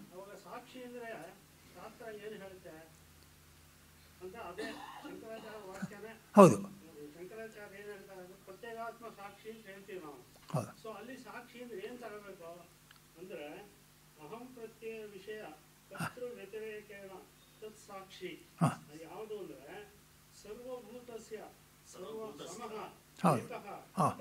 ಹೌದು. ನಿತ್ಯಃ, ಹಾ. ಸ್ವಭಾವ. ಅದೇ ಸಾಕ್ಷಿ. ಹೌದು. ಸೊ ಅಂದ್ರೆ ನಾವು ಇದನ್ನೇ ತಗೋಬೇಕಲ್ಲಿ ಅಚ್ಚ. ನೋಡಿ ಈ ವಾಕ್ಯ ಇದೆಯಲ್ಲ? ಇದು ಯಾವುದನ್ನು ಹೇಳ್ತಾ ಇದೆ? ನೀವೇ ನೋಡಿ ಅಲ್ಲಿ. ಅಲ್ಲ, ಒಂದು ನಿಮಿಷ. ಶುದ್ಧ ಬ್ರಹ್ಮಣ್ಯ ಹೇಳ್ತಾ ಇರೋದು. ಅದು ಯಾವುದಕ್ಕೆ ಸಾಕ್ಷಿ ಅಂದರೆ ನಾಲ್ಕನೇ ಸೂತ್ರದಲ್ಲಿ ಏನು ಹೇಳಿದ್ದಾರೆ? ಅದನ್ನು ಇಲ್ಲಿ ಸ್ಪಷ್ಟವಾಗಿ ಹೇಳಿದೆ. ನಾನು ಆತ್ಮ ಅಹಂ ಇದೆ, ಮುಂದಿನ ಪುಟ ನೋಡಿ, ಐವತ್ತೊಂದರಲ್ಲಿ. ನಾನು ಆತ್ಮ ಅಹಂ ಪ್ರತಿ ವಿಷಯತ್ವಾತ್ ಉಪನಿಷತ್ ಸೇವಿಜ್ಞಾಯತೆ ಇತ್ಯ ಅನುಪಪನ್ನಂ ಅಂತ ಇದೆ. ಏನಪ್ಪ ಅಂದರೆ ಪ್ರಶ್ನೆ ಕೇಳ್ತಾರೆ ಅಲ್ಲಿ ಸಂದರ್ಭ ನೋಡಿ. ಅದಕ್ಕೆ, ಅದೇ ಕೇಳ್ತಾರೆ ಏನು ಹೇಳಿದ್ದಾರೆ ಅಂದರೆ, ಅಲ್ಲಿ ಸೂತ್ರದಲ್ಲಿ ಏನು ಹೇಳ್ತಾ ಇದ್ದಾರೆ ಅಂದರೆ ಆತ್ಮ ಆತ್ಮ ಆತ್ಮ ಅಂತ ಹೇಳ್ಕೊಂಡು ಬಂದು ಈ ಆತ್ಮನನ್ನು ಬೇರೆ ಇಲ್ಲಿಂದಲೂ ತಿಳ್ಕೊಳ್ಳೋದಕ್ಕಾಗೋದಿಲ್ಲ. ಅವನು ತಿಳ್ಕೊಳ್ಬೇಕಾದ್ರೆ ಉಪನಿಷತ್ತಿನಿಂದಲೇ ತಿಳ್ಕೊಬೇಕು ಉಪನಿಷತ್ತಿನಿಂದಲೇ ತಿಳ್ಕೊಬೇಕು ಉಪನಿಷತ್ತಿನಿಂದ ತಿಳ್ಕೊಬೇಕು ಅಂತ ಬಾರಿ ಬಾರಿ ಹೇಳಿದ್ದಾರೆ. ಆವಾಗ ಅವನು ಕೇಳ್ತಾ ಇರೋನು, ಒಂದು ಆಕ್ಷೇಪ ಮಾಡ್ತಾನೆ ಅಥವಾ ಪ್ರಶ್ನೆ ಕೇಳ್ತಾನೆ. ಏನದು ಅಂದರೆ, ಅರೆ, ಇಷ್ಟೊತ್ತು ನೋಡಿ ಅಹಂ ಪ್ರಶ ಅಹಂ ಪ್ರತಿ ಅಹಂ ಪ್ರತಿ ವಿಷಯ ಅಹಂ ಪ್ರತಿ ವಿಷಯ ನೀವು ಹೇಳಿದಿರಲ್ಲ? ಅಲ್ಲಿಗೆ ಅಹಂ ಪ್ರತಿ ವಿಷಯತ್ವಾತ್ ಅವ್ನು ನನಗೆ ಗೊತ್ತಿದೆ. ಅವ್ನು ನಾನು ನಾನು ಅಂತ ಹೇಳ್ಕೊಳ್ತಾ ಇರೋದ್ರಿಂದ ಅವ್ನು ಗೊತ್ತಾಯಿತು ಅಂತ ಆಗೋಯ್ತಲ್ಲ? ಗೊತ್ತಾಯಿತು ಅಂತ ಆಗಿರೋದ್ರಿಂದ ಇವಾಗ ವಿವರಿಸೇವ ವಿಜ್ಞಾಯಿತೆ ಉಪನಿಷತ್ತುಗಳೇ ತಿಳ್ಕೋಬೇಕು ಅನ್ನೋದು ಏನು? ಅಂತ ಕೇಳಿದ್ರೆ, ಹೇಳಿದರೆ, ಅಯ್ಯೋ ಇತ್ಯನುಪನ್ನ ಮುಂದೆ ನಾ. ಏನು ಹೇಳಿದಂದರೆ, ಅವನು ಯಾರು ಅಂದರೆ ತತ್ ಸಾಕ್ಷಿತ್ವೇನ ಪ್ರತ್ಯುಕ್ತತ್ವಾತ್. ಸಾಕ್ಷಿ ತತ್ತಂದ್ರೆ ಏನಲ್ಲಿ? ಈ ಅಹಂ ಪ್ರತಿ ವಿಷಯ ಇದಾನಲ್ಲ, ಇವನಿಗೆ ಸಾಕ್ಷಿಯಾಗಿರೋನು ಅಂತ. ದ್ವಾಸಪರ್ಣ ಸವಿಜಾ ಸಖಾಯ ಅಂತ ಬರುತ್ತೋ ಇಲ್ಲ?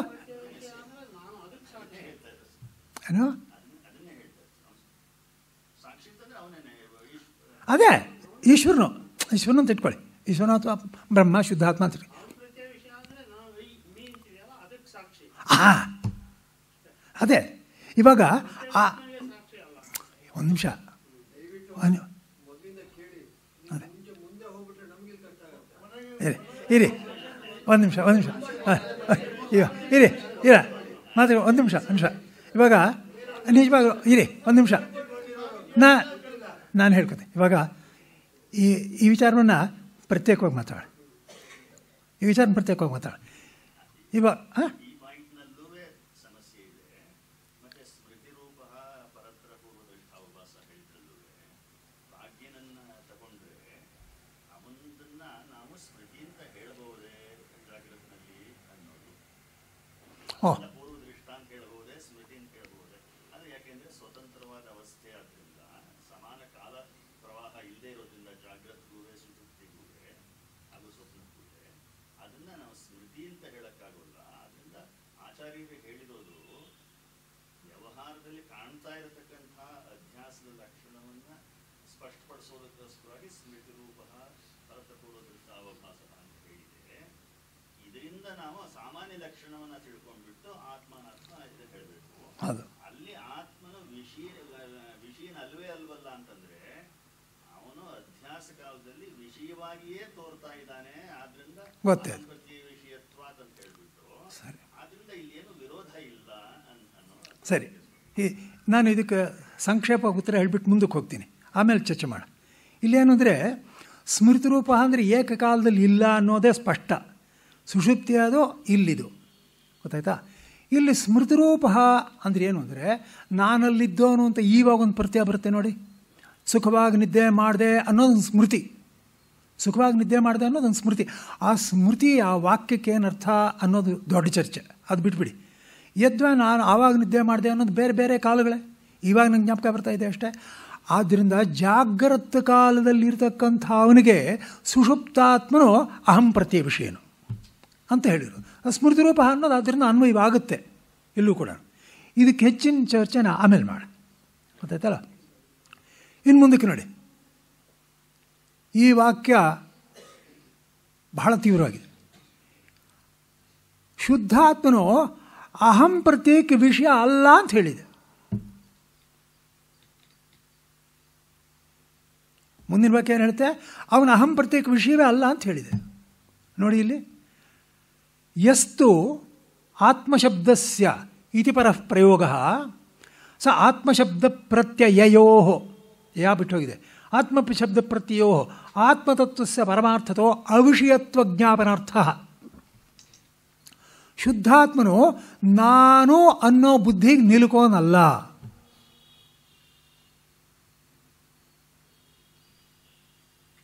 ಗೊತ್ತಾಗ್ತಾ ಇದೆಯಾ?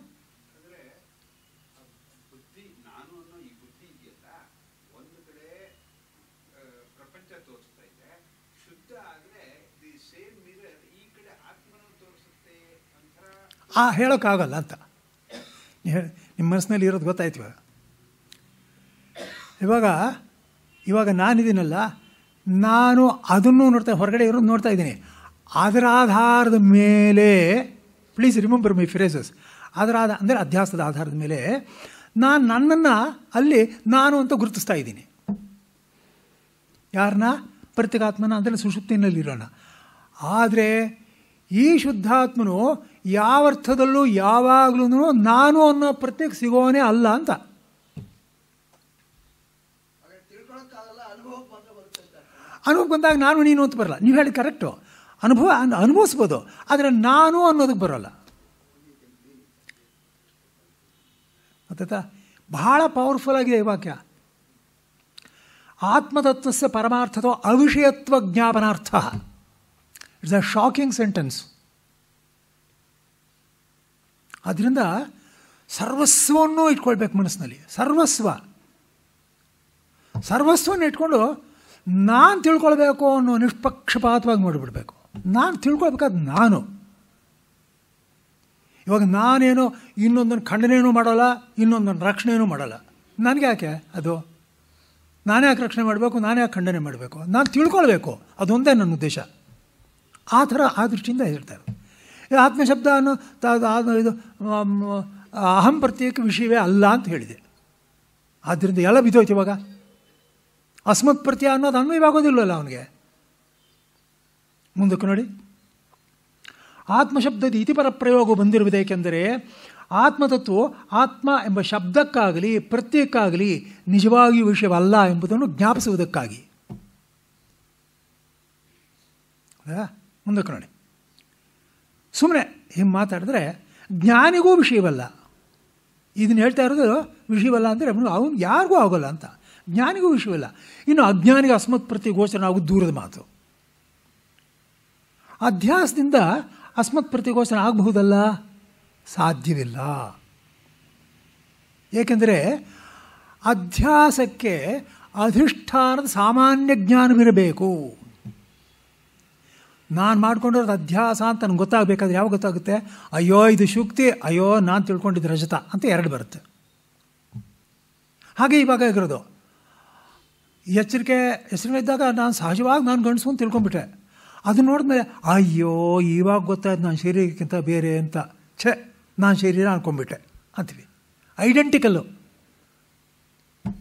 ಯಾಕೆಂದರೆ ಅಲ್ಲಿ ಶುಕ್ತಿಯೂ ವಿಷಯ, ರಜತಾನೂ ವಿಷಯ. ಹಾಗೆಯೇ ಇಲ್ಲಿ ಅಸ್ಮತ್ ಪ್ರತಿಯೂ ವಿಷಯ, ಶರೀರವೂ ವಿಷಯ. ಹಾಗೆ ಆತ್ಮ ವಿಚಾರದಲ್ಲಿ ಆಗೋಲ್ಲ. ಆತ್ಮ ವಿಚಾರಕ್ಕೆ ಬಂದರೆ ಅವಾಗ ಏನಾಗುತ್ತೆ ನೋಡಿ ಅಹಂ ಅಂತ ಬರೋದು ಯಾವಾಗಲೂ ಗೊತ್ತೇನ್ರಿ? ಇನ್ನೊಂದು ಇದ್ರೇನೆ ಅಹಂ ಬರೋದು. ಯಾವಾಗ ನೋಡಿ ಹೇಳ್ತೀನಿ ಕೇಳಿ. ಯಾವುದಾದ್ರೂ ವಾಕ್ಯ ತಗೊಳ್ಳಿ. ಯಾವುದಾದ್ರು ವಾಕ್ಯ ತಗೊಳ್ಳಿ. ನಾನು ಗಂಡಸು, ನಾನು ಯುವಕ, ನಾನು ಹುಡುಗ, ನಾನು ಮುದುಕ ಅಂದಾಗ ಆ ನಾನು ಅನ್ನೋದ್ರ ಜೊತೆಗೆ ಇದೆಯಲ್ಲ, ಏನೋ ಒಂದು ಸೇರಿಕೊಂಡೇ ಬರ್ತಾ ಇದೆ. ಅದಾ ಯಾವುದು ಸೇರಿಕೊಳ್ಳದೆ ಬರೋ ಅಹಂ ಇದೆಯಲ್ಲ, ಅದನ್ನು ಈಶ್ವರನಿಗೆ ಹೇಳಿದೆ ಶಾಸ್ತ್ರದಲ್ಲಿ. ಕೇವಲ ಅಹಂ ಅನ್ನೋ ಇದೆ ಅಂತ ಹೇಳಿದೆ. ಗೊತ್ತದ ಅದನ್ನು ಬಿಡಿ, ಅದು ಬೇಡ. ಇವಾಗ ಇಲ್ಲಿ ನಮಗೆ ಅಹಂ ಅಂದ ಕೂಡಲೇ ಇದನ್ನೇನು ಇಟ್ಕೊಂಡೇ ಬರೋದು. ಯಾವಾಗ ನಾನು ಶುದ್ಧಾತ್ಮನು ಅಂತ ಗೊತ್ತಾಗ್ಬಿಟ್ರೆ, ಗೊತ್ತಾಗೋದು ಹೇಗೆ? ನಾನು ಆತ್ಮನು ಅಂತೆಲ್ಲ ಗೊತ್ತಾಗಲ್ಲ. ನಾನು ಆತ್ಮನು ಅಂದರೆ ಎರಡು ಬರುತ್ತವಾಗ ನಾನು ಆತ್ಮನು ಅಂದ್ರೆ ಏನು ಗೊತ್ತೇನು? ಇನ್ನೊಂದು ಇಲ್ವೇ ಇಲ್ಲ ಅಂತ. ಆದ್ದರಿಂದ ಆತ್ಮನಿಗೂ ಅವನು ಅಹಂ ಪ್ರತ್ಯೇಕ ವಿಷಯನಲ್ಲ ಆತ್ಮ ಅನ್ನೋ ಶಬ್ದಕ್ಕೂ ವಿಷಯನಲ್ಲ ಆತ್ಮ ಅಂತ ನಾನು ಯಾವಾಗ ಹೇಳೋದು? ಅನಾತ್ಮ ಒಂದು ಇದ್ದರೆ ಆತ್ಮ ಅಂತ ಹೇಳ್ತೀನಿ. ಯಾವ ಶಬ್ದಕ್ಕೂ ಯೋಗ್ಯನಲ್ಲ ಅವನು ಅಂತ ಹೇಳಿದ್ದಾರೆ. ಆದ್ದರಿಂದ ಅಧ್ಯಾತ್ಮ ಅಸ್ಮತ್ ಪ್ರತಿಗೋಚನ ಆಗಬಹುದಲ್ಲ ಅಂದರೆ ಅದಕ್ಕೂ ಸಾಧ್ಯವಿಲ್ಲ. ಅಧ ಅಧ್ಯಾಸಕ್ಕೆ ಅಧಿಷ್ಠಾನದ ಸಾಮಾನ್ಯ ಜ್ಞಾನವಿರಬೇಕು. ಅಧಿಷ್ಠಾನ ಸ್ವರೂಪ ಗೊತ್ತಿರಬೇಕು ಅಂತಲ್ಲ. I I need not have to know the chemical nature of Shukti ಸಾಮಾನ್ಯ ಅದಕ್ಕಿಂತ ಬೇರೆ ಅಂತ ಗೊತ್ತಿದ್ದರೆ ಸಾಕು. ಸಾಮಾನ್ಯ ಜ್ಞಾನ ಅಗತ್ಯ. ಅಜ್ಞಾನಿಗೆ ಅದು ಕೂಡ ಸಾಧ್ಯವಿಲ್ಲ. ಅಜ್ಞಾನಿಗೆ ಆ ಶುದ್ಧಾತ್ಮನ ಸಾಮಾನ್ಯ ಜ್ಞಾನವೂ ಇಲ್ಲ. ಆದರೆ ಅವನಿಗೆ ತದ್ವಿಪರೀತವಾಗಿ ಸ್ವಾನುಭವದಲ್ಲಿ ಸರ್ವರಿಗೂ ಪ್ರಾಜ್ಞ ಸಾಮಾನ್ಯ ಜ್ಞಾನವಿದೆ. ರೀತಿನಲ್ಲಿ ಗೊತ್ತಾಗ್ತಾಯ್ಯಾ? ಆಮೆ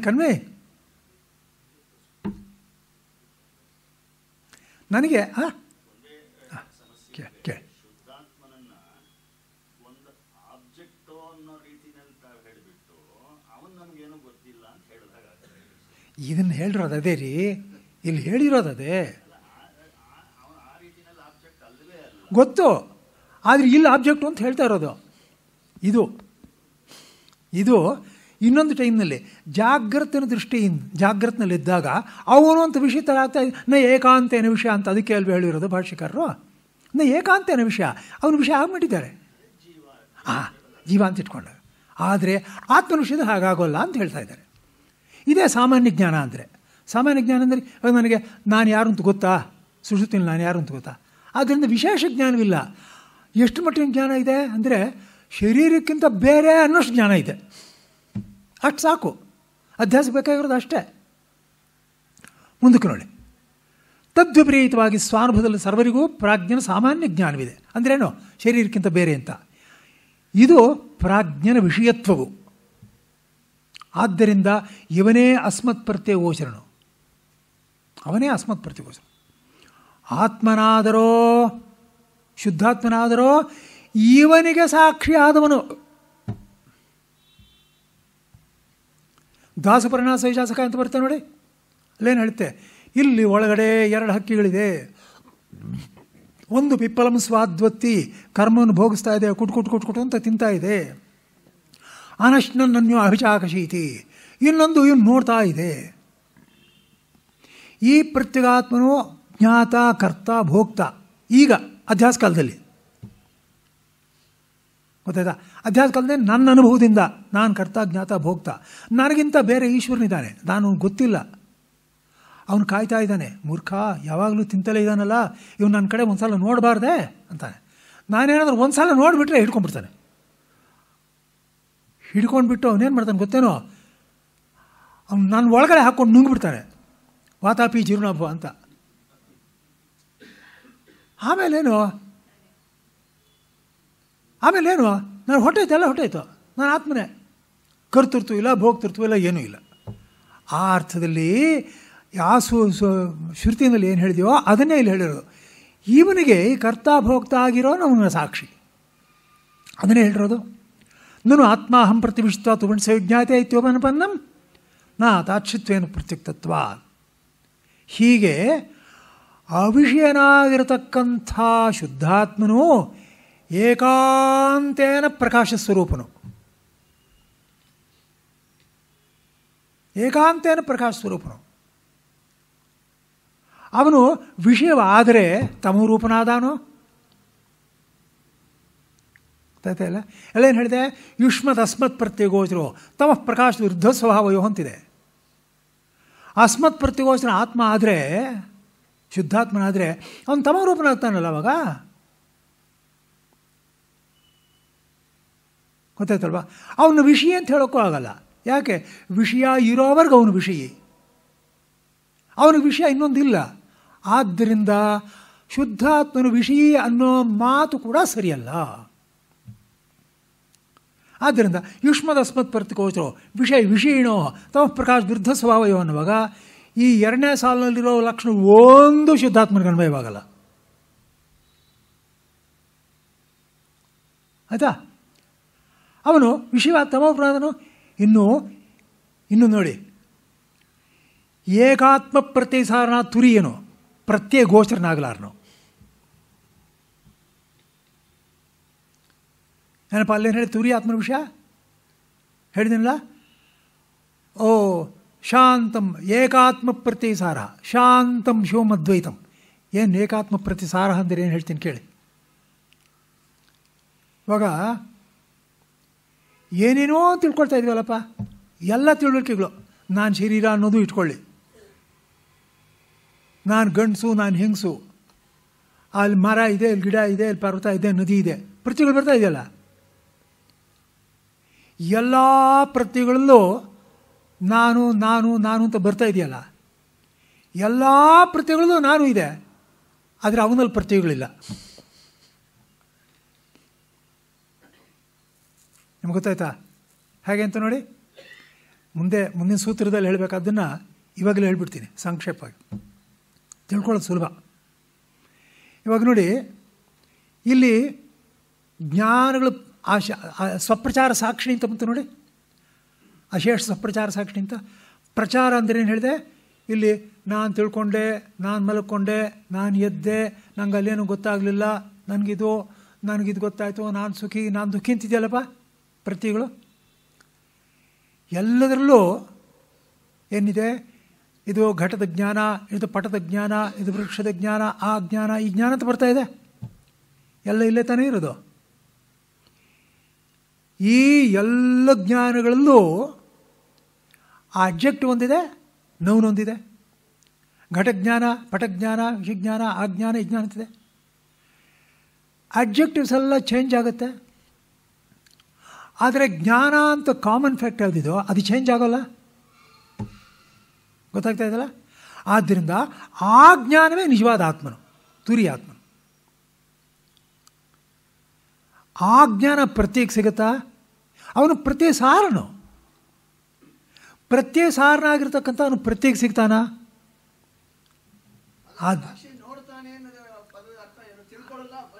ಆ ಬೋರಿ ಹೇಳ್ತೇನೆ ಹೇಳ್ತೀನಿ ಒಂದು ನಿಮಿಷ. ಅದನ್ನೇ ಹೇಳುವಾಗ ಅದಕ್ಕೋಸ್ಕರ ಬರೀ ದೃಷ್ಟೃಭಾವ ದೃಷ್ಟಭಾವ ಅಂದರೆ ಏನು? ಸುಮ್ಮನೆ ಸ್ವಭಾವವೇ ನೋಡೋದು ಅಂತ ಅಷ್ಟೇ. ತಿಳ್ಕೊಳ್ಳೋದು ಅಲ್ಲ. ತಿಳ್ಕೊಳ್ಳೋದಲ್ಲ ನೋಡೋದು ಅನ್ನೋದು ಒಂದು ಸ್ವಭಾವ. ಬೆಳಗೋದು ಹಾಂ ಬೆಳಗೋದು. ಹಾಂ ಸೂರ್ಯನ ಬೆಳಗ್ತಾನೆ ಅನ್ನೋ ಥರ. ಬೆಳಗೋದು ಒಂದೇ ಅವನ ಕೆಲಸ.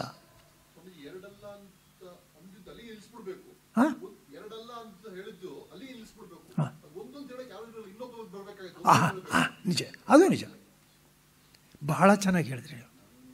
ಬಹಳ ಚೆನ್ನಾಗಿ ಹೇಳಿ ಎರಡು ಅಲ್ಲ ಅಂತ ಹೇಳ್ಬೋದೇ ವಿನ ಒಂದು ಅಂತ ಹೇಳೋಕ್ಕಾಗಲ್ಲ.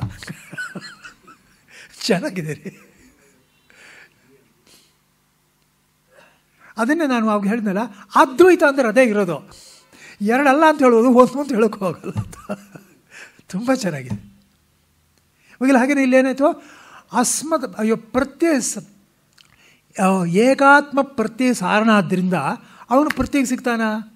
ಆದ್ದರಿಂದ ಅವನ ಅಹಂ ಪ್ರತ್ಯಯ ಗೋಚರನ ಅಲ್ಲ ಹಾಂ. ತುರಿಯನು ಪ್ರತ್ಯಗಾತ್ಮನೇ ಆದರೂ, ಪ್ರತ್ಯೇಗಾತ್ಮನಾದರೂ ಅಧ್ಯಾಸ ಮಾಡಿಕೊಳ್ಳುತ್ತಿರುವವನಿಗೆ ಅಪರೋಕ್ಷನಲ್ಲ.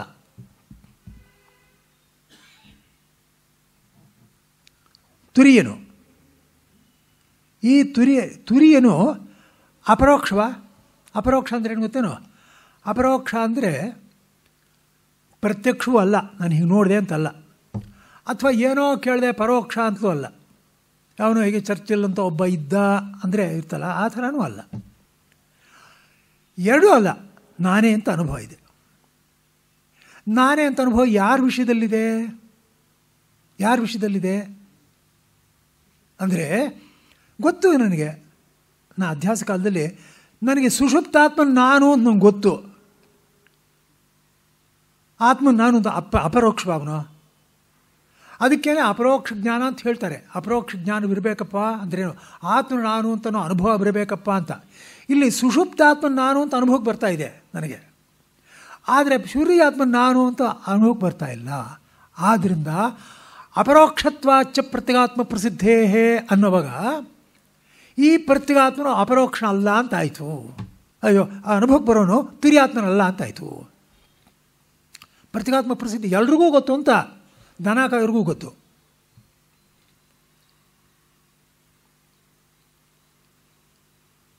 ಅಪ್ಪ, ಎಲ್ರಿಗೂ ಗೊತ್ತಾಗ್ತಾ ಇದೆಯಾ?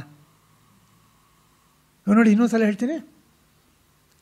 ಅಪರೋಕ್ಷ ಅಂದ್ರೆ ಏನಂತಾರೆ ಪ್ರತ್ಯಕ್ಷವಾಗಿ ನೋಡಿ ತಿಳ್ಕೊಂಡೆ ಅಂತೂ ಅಲ್ಲ.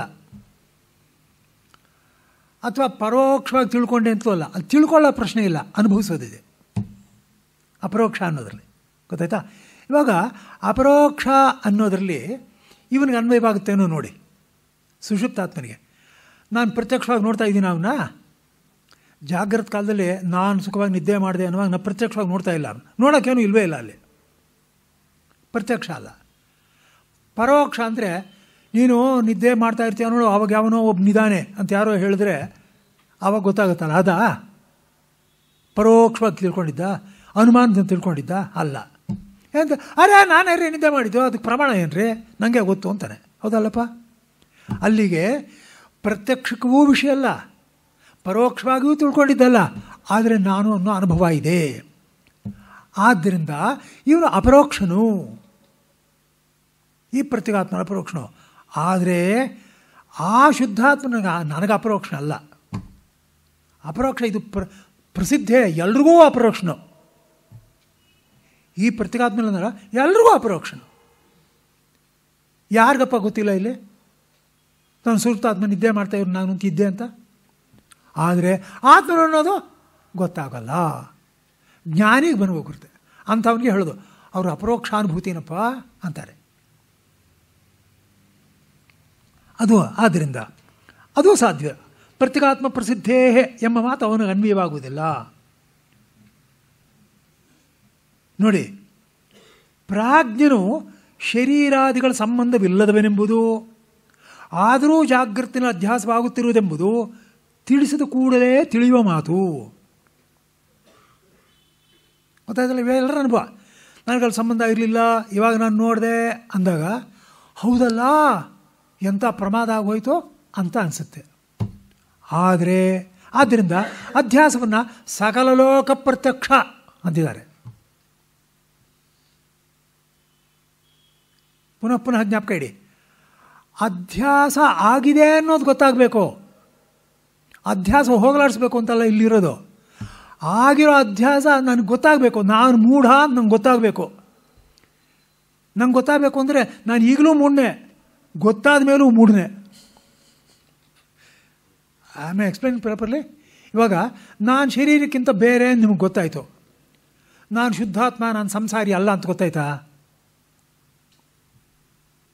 ಗೊತ್ತಾಗಿಲ್ಲ. ಹಾಂ ಮೂಢ ಅಂತ ಗೊತ್ತಾದ್ಮೇಲೆ ನಾನು ಮೂಢತ್ವ ಕಳ್ಕೊಳ್ಳೋದಕ್ಕೆ ಪ್ರಯತ್ನ ಪಡ್ತೀನಿ. ಆದ್ದರಿಂದ ಅಧ್ಯಾಸ ಪಡಿಸಿದ ಉದ್ದೇಶ ಏನಂದರೆ, ನಾನು ಮೂಢ ಅಂತ ತಿಳಿಸೋದು ಉದ್ದೇಶ, ನಾನು ಜ್ಞಾನಿ ಅಂತ ತಿಳಿಸೋದಲ್ಲ ಉದ್ದೇಶ. ಇಲ್ಲೇ ತಿಳಿಸ್ಬಿಟ್ರೆ ಆಮೇಲೆ ಪುಸ್ತಕ ಆಯ್ತಕ್ಕೆ ಬಾಕಿ? ಚೆನ್ನಾಗಿ ತಿಳ್ಕೊಳ್ಳಿ. ಅಧ್ಯಾಸ ಭಾಷೆ ಅಧ್ಯಯನ ಮಾಡಿದ್ರೆ ನನಗೇನು ಜ್ಞಾನ ಪ್ರಾಪ್ತಿ ಆಗುತ್ತೆ ಅಂದರೆ, ನಾನು ಮೂಢ ಅನ್ನೋ ತಿಳಿಯುತ್ತೆ. ಇವಾಗ I made myself clear ಅಧ್ಯಾಸ ಭಾಷೆ ತಾತ್ಪರ್ಯ ಗೊತ್ತಾಯ್ತಾ? ನಾನು ದಡ್ಡ ಶಿಖಾಮಣಿ ಅಂತ ತಿಳಿಸೋದು. ಅಧ್ಯಾಸ ಉದ್ದೇಶ. ಇಲ್ಲ, ಇದು ಸ್ಪಷ್ಟವಾಗಿದೆ ಇವಾಗ. ಇನ್ನು ನೋಡಿ. ಅದರಲ್ಲೇ ಆದರೆ ಆತ್ಮನಲ್ಲಿ ಅಧ್ಯಾಸವಾಗಿದೆ ಎಂಬ ಮಾತು ಅನುಭವಕ್ಕೆ ಬರುವುದಿಲ್ಲ. ಆತ್ಮಧ್ಯಾಸ ಆಗಿದೆ ಅಂತ ಹೇಳಿದ್ರಪ್ಪ. ನಮಗೇನಾದರೂ ಬುರುಡೆ ಒಳಗಡೆ ಹೋಯ್ತಾ? ಆತ್ಮ ಅಂದರೆ ಏನು ಅಂತ ಗೊತ್ತಿಲ್ಲ. ಅಧ್ಯಾಸ ಅಂದರೆ ಏನು ಅಂತ ಗೊತ್ತಿಲ್ಲ.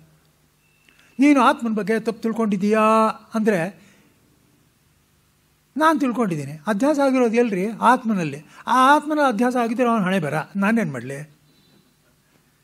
ಅಧ್ಯಾಸ ಆಗಿರೋದು ನನ್ನಲ್ಲಿ ಅಂದರೆ ನಾನು ಪ್ರಯತ್ನ ಪಡ್ತೀನಪ್ಪ. ಯಾವನ ಆತ್ಮ ಬ್ರಹ್ಮ ಅಂತ ಒಂದಿದೆ ಅಂತೆ. ಅದರಲ್ಲಿ ಅಧ್ಯಾಸ ಆಗಿದೆ ಅಂತೆ. ನಾನು ಆದರೆ ಹಾಕ್ಕೊಳ್ಳಿ. ನನಗೇನಂತೆ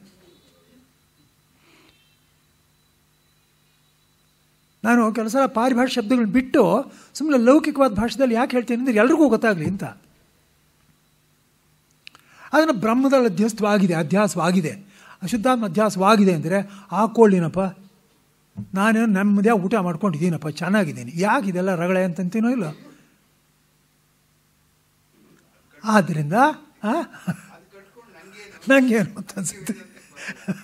ಅಧ್ಯಾಸ ಬರುವುದಿಲ್ಲ ಆದ್ದರಿಂದ ಸಕಲ ಅಧ್ಯಾಸ ಸಕಲೋಕ ಪ್ರತ್ಯಕ್ಷವಲ್ಲ. ಆದ್ದರಿಂದ ಈ ವಾಕ್ಯ ಪ್ರತಿಯೊಬ್ಬರು ನೆನಪಿಡಿ. ಈ ಮಾತು ಅಧ್ಯಾಸದ ನಾಶಕ್ಕೆ ಜಿಜ್ಞಾಸೆಯಲ್ಲಿ, ಜಿಜ್ಞಾಸುವಿನಲ್ಲಿ ಪ್ರವೃತ್ತಿಯನ್ನು ಉಂಟು ಮಾಡುವುದಿಲ್ಲ.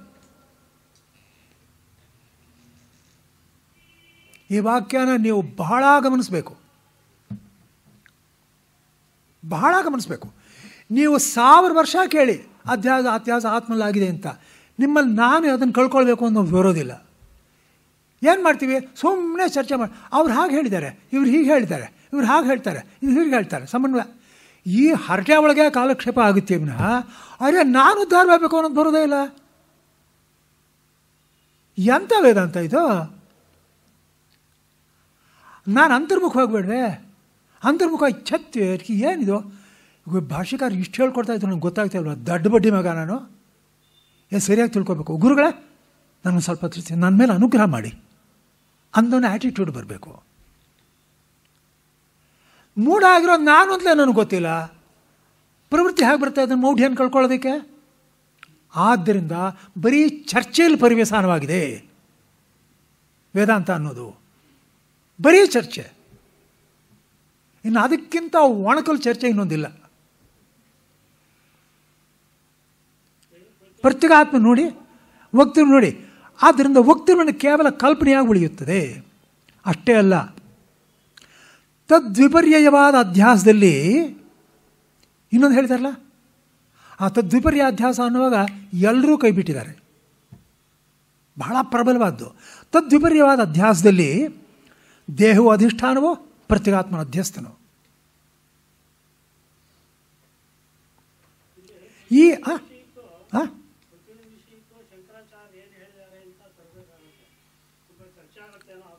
ಇಲ್ಲ ಇಲ್ಲ ಇಲ್ಲ ನೀವು ಒಂದು ಮಾತು ಹೇಳಿಬಿಡಿ ಜರ ಹಾಂ ಹಾಗೆ ಪ್ರತ್ಯಕ್ಷವಾಗಿ ಅಪರೋಕ್ಷವಾಗಿ ಆಗಿದೆ ಅಂದರೆ ಶಂಕರಾಚಾರ್ಯ ಮಾತೇ ಇದು ನಾನು ಇದ್ದೀನಿ ಅಂತ ಎಲ್ಲರೂ ತಿಳ್ಕೊಂಡಿದ್ದಾರೆ ಸೊ ನಾನು ಇದ್ದೀನಿ ಅನ್ನೋದು ಪ್ರತ್ಯೇಗಾತ್ಮ ಅಥವಾ ಆತ್ಮನಿಗೆ ಆದರೆ ನಾನು ತಿಳ್ಕೊಂಡಿರೋದು ಏನು ಅಂದರೆ ನಾನು ಅನ್ನೋದು ಅಹಂ ಅಥವಾ ಐ ಅದಿದ್ದೀನಿ ಅಂತ ತಿಳ್ಕೊಂಡಿದ್ದೀವಿ ಅದೇ ಅಧ್ಯಾಸ ನಾನು ಅನ್ನೋದು ಆತ್ಮನಿಗೆ ಅದಿದೆ ಅಂತ ಅದು ಹೌದು ನಿಜ ಅಪರೋಕ್ಷವಾಗಿ ಶಂಕರಾಚಾರ್ಯ ಮಾತೇ ಅದು ಅಲ್ಪ ಅನುಭವದಲ್ಲಿ ಇದೆ ನಿಜ. ಗೊತ್ತಿಲ್ಲ ಅಲ್ಲಪ್ಪ ಇರೇ ಗೊತ್ತಾಯ್ತು. ಆ- ಸಮನ್ವಯ ಹೇಗೆ ಮಾಡೋದು ಅಂತ ಹೇಳ್ತೀನಿ. ಇವಾಗ ಇಲ್ಲಿರೋ ವಾಕ್ಯಗಳು ಇದೆ ತಾನೆ, ಇಲ್ಲಿರೋ ವಾಕ್ಯಗಳು ಸ್ಪಷ್ಟವಾಗಿದೆ ತಾನೆ. ಅದು ಹೇಗೆ ಸಮನ್ವಯ ಮಾಡೋದು ನೋಡೋಣ. ಸದ್ಯಕ್ಕೆ ಯಾಕೆಂದರೆ ಅದು ಚರ್ಚೆ ಹೆಚ್ಚಾಗ್ತಾ ಇದ್ದರೆ ಬೇರೆಯವ್ರಿಗೆಲ್ಲ ಇದಾಗ್ತದೆ. ಯಾಕಂದರೆ ಒಟ್ಟಿನಲ್ಲಿ ಇವಾಗ ಇಲ್ಲಿರೋ ವಾಕ್ಯಗಳು ಸ್ಪಷ್ಟವಾಗಿದೆ. ಯಾವುದು ಸಂದಿಗ್ಧವಾಗಿ ಏನಿಲ್ಲ ಮುಂದಕ್ಕೆ ನೋಡಿ, ಬಂದರೆ ಕ ಅಷ್ಟೇ ಅಲ್ಲ. ತದ್ವಿಪರ್ಯವಾದ ಅಧ್ಯಾಸದಲ್ಲಿ ದೇಹವು ಅಧಿಷ್ಠಾನವು, ಪ್ರತ್ಯಗಾತ್ಮನ ಅಧ್ಯಸ್ಥನು ಈ ಪ್ರತ್ಯಗಾತ್ಮನು ತುರಿಯನಾದರೆ ಅದಕ್ಕಿಂತ ಅನ್ಯವಾದ ದೇಹದಲ್ಲಿ ಅನ್ಯ ಧರ್ಮಾಧ್ಯಾಸ ಹೋಗೋದು ಸಾಧ್ಯವಿಲ್ಲ. ಯಾಕೆ? ಆತ್ಮ ನಿರ್ಧರ್ಮನು ಶುದ್ಧಾತ್ಮ ನಿರ್ಧರ್ಮನಲ್ಲೇನಪ್ಪ ವಿಪರ್ಯಾಧ್ಯಾಸದಲ್ಲಿ ದೇಹವೇ ಇನ್ನೊಂದು, ಅನಾತ್ಮ ಅಂದ್ರೆ ಅದಿಲ್ಲನಪ್ಪ. ಇವಾಗ ಅವನಲ್ಲಿ ಧರ್ಮವೇ ಇಲ್ಲ. ಯಾವ ಧರ್ಮವನ್ನು ನಾನು ಅಧ್ಯಾಸ ಮಾಡಬೇಕು? ಗೊತ್ತಾಗ್ತಾ ಇದೆಯಾ? ಹೋದರೆ ಹೋಗ್ಕೊಳ್ಳಿ. ಅವನು ಅಧ್ಯಾಸ ಮಾಡೋದಕ್ಕೆ ಇನ್ನೊಂದು ವಿಷಯವೂ ಇಲ್ಲ. ಯಾಕೆಂದರೆ ಎಲ್ಲವೂ ಆತ್ಮನೇ. ನೋಡಿಪ್ಪ, ಅಧ್ಯಾಸ ಆಗಬೇಕಾದ್ರೆ ಎರಡು ಇರಬೇಕಲ್ಲನಪ್ಪ ಒಂದು ಗೊತ್ತಿದೆ, ಇನ್ನೊಂದು ಗೊತ್ತಿಲ್ಲ ಅನ್ನೋ ಎರಡು ಇರಬೇಕು. ಅಧ್ಯಾಸ ಆದಮೇಲೆ ಆ ಅಧ್ಯಾಸ ಅಂತ ತಿಳಿದ ಮೇಲೆ ಆವಾಗ ಆವಾಗಲೂ ಎರಡು ಇರುತ್ತೆ. ಅಧ್ಯಾಸ ಅಂತ ತಿಳಿದ ಮೇಲೂ ಎರಡು ಇರುತ್ತೆ. ಗೊತ್ತಾಯ್ತಾ? ಇಲ್ಲಿ ಇವನು ಅಧ್ಯಾಸ ಮಾಡಬೇಕಾದ್ರೆ ಇವನ ಧರ್ಮ ಅಲ್ಲಿ ಹಾಕಬೇಕು, ಇವನಲ್ಲಿ ಧರ್ಮ ಇಲ್ಲ. ಇವನ ಧರ್ಮ ಎಲ್ಲಿ ಹಾಕಬೇಕು? ಆ ಇನ್ನೊಂದು ತಿಳ್ವ ಇಲ್ವಲ್ಲ? ಇನ್ನೊಂದು ತಿದ್ದರೆ ತಾನೇ ಅಧ್ಯಾಸ ಹಾಕೋದು. ಆದ್ದರಿಂದ ಆತ್ಮನ ವಿಷಯದಲ್ಲಿ ತಾನೂ ಇನ್ನೊಂದು ಅಂತ ಇಲ್ಲದೆ ಇರೋದರಿಂದ, ಅಲ್ಲಿ ವಿಷಯನೂ ಇಲ್ಲ, ವಿಷಯವೂ ಇಲ್ಲ ಇರೋದರಿಂದ ಆತ್ಮನಲ್ಲಿ ಅಧ್ಯಾಸವಾಗಿದೆ ಅನ್ನೋ ಮಾತು ಏನೇನೂ ಸರಿಯಲ್ಲ.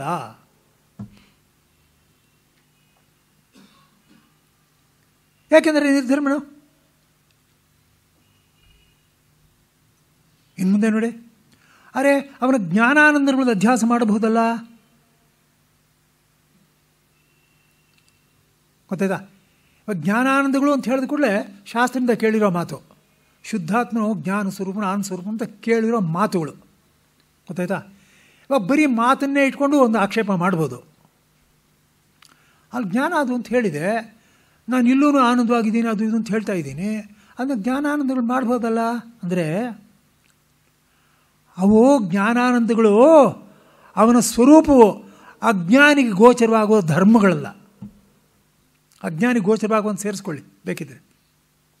ಅಜ್ಞಾನಿ ಗೋಚರವಾಗುವ ಧರ್ಮಗಳಲ್ಲ. ಯಾಕೆ ಧರ್ಮ ಅಂದ್ರೇನ್ರಿ? ಒಂಥರ ನೋಡಿ ತಿಳ್ಕೊಳ್ಬಂಥ ವಿಷಯ ತಾನೇ ಅದು. ಜ್ಞಾನಾನಂದಗಳು ನೋಡಿ ತಿಳ್ಕೊಳ್ಳೋ ವಿಷಯವೇ? ಪ್ರತ್ಯಕ್ಷಕ್ಕೋ ಪರೋಕ್ಷಕ್ಕೋ ವಿಷಯವೇ ಅದು? ಅಲ್ವಲ್ಲ?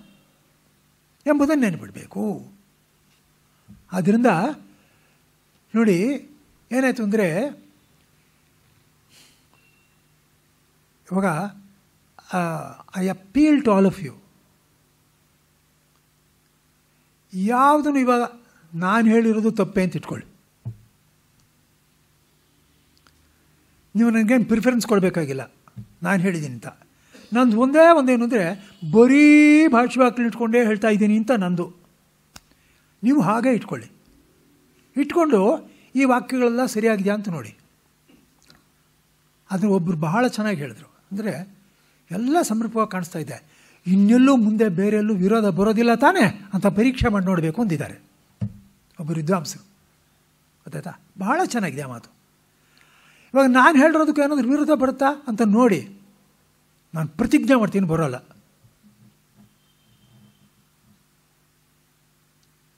ಯಾಕೆಂದರೆ ಭಾಷ್ಯವಾಕ್ಯಗಳಲ್ಲಿ ಇದರ ಆಧಾರದ ಮೇಲೆ ನೀವು ಒಂದು ಸಲ ತಿಳ್ಕೊಂಡ್ಬಿಟ್ರೆ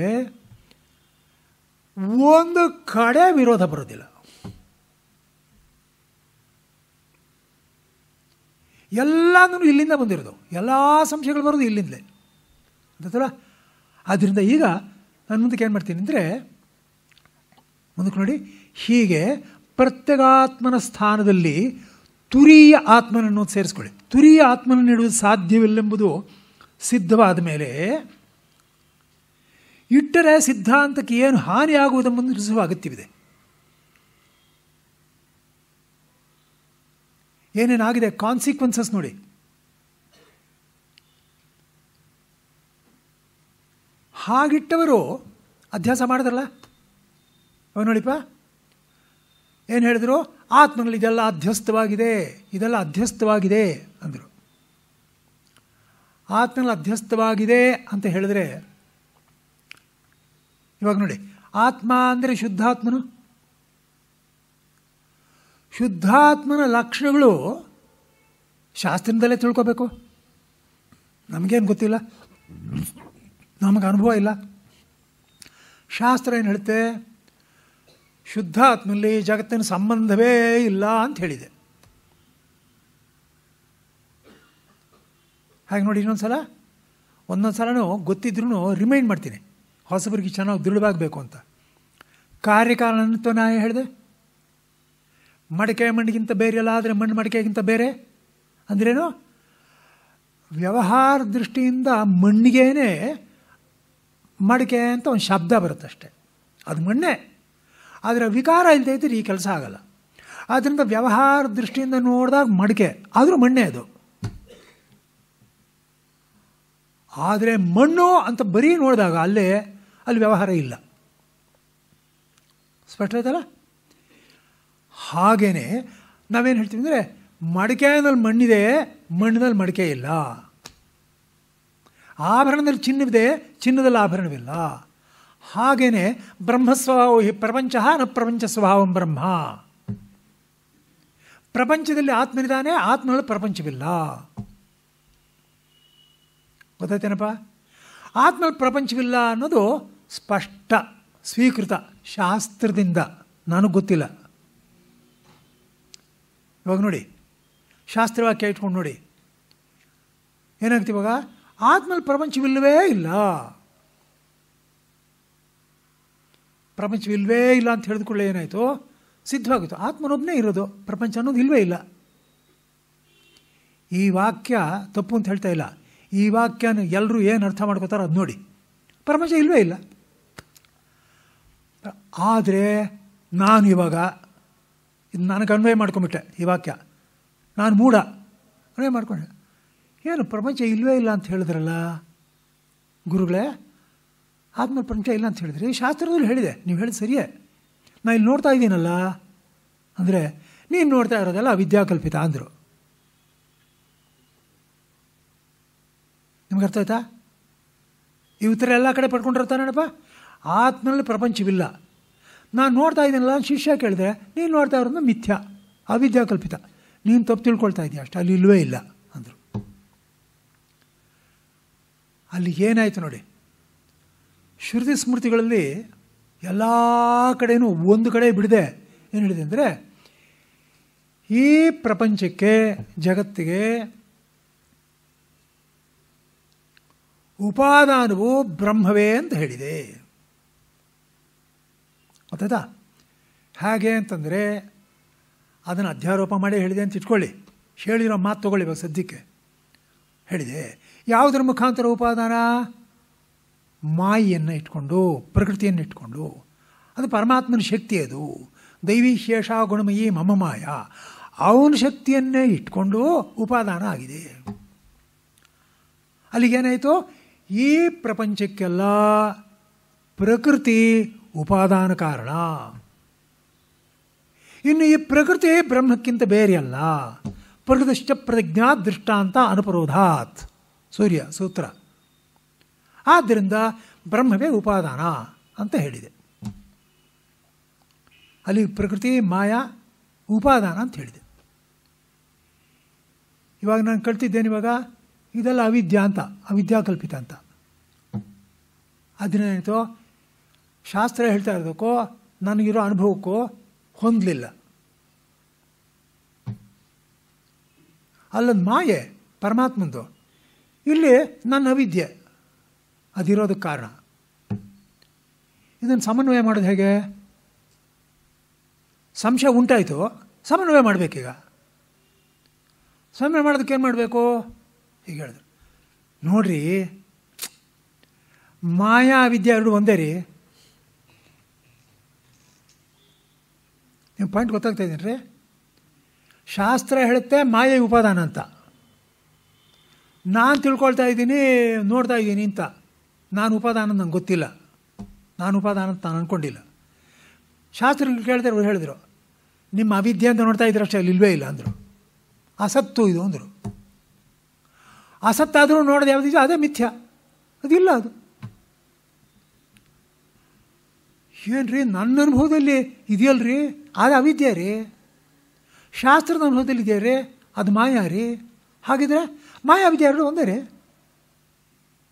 ಇದು ಒಬ್ಬರದು ಉತ್ತರ. ಇನ್ನೊಬ್ಬರು ಮುಂದಕ್ಕೆ ಬಂದರು ಹೇಳಿದ್ರು, ರೀ ರೀ ರೀ, ಮಾಯಾ ವಿದ್ಯೆ ಎರಡು ಒಂದೇ ಅಂತ ಹೇಳೋ ತಪ್ಪು. ಹಾಗೆಲ್ಲ ಹೇಳಬೇಡಿ.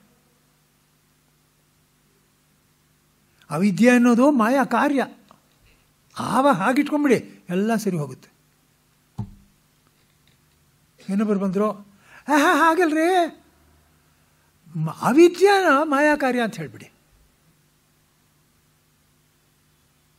ಒಬ್ಬರು ಮಾಯಾ ವಿದ್ಯಾ ಕಾರ್ಯ ಇನ್ನೊಬ್ಬರು ಅವಿದ್ಯಾ ಮಾಯಾ ಕಾರ್ಯ ಇದೊಂದು ಉತ್ತರ. ಇಲ್ಲ ರೀ, ಹಾಗಲ್ಲ ರೀ. ಮಾಯೆ ಅನ್ನೋದ್ರ ಎರಡು ಶಕ್ತಿ ಇದೆ ರೀ.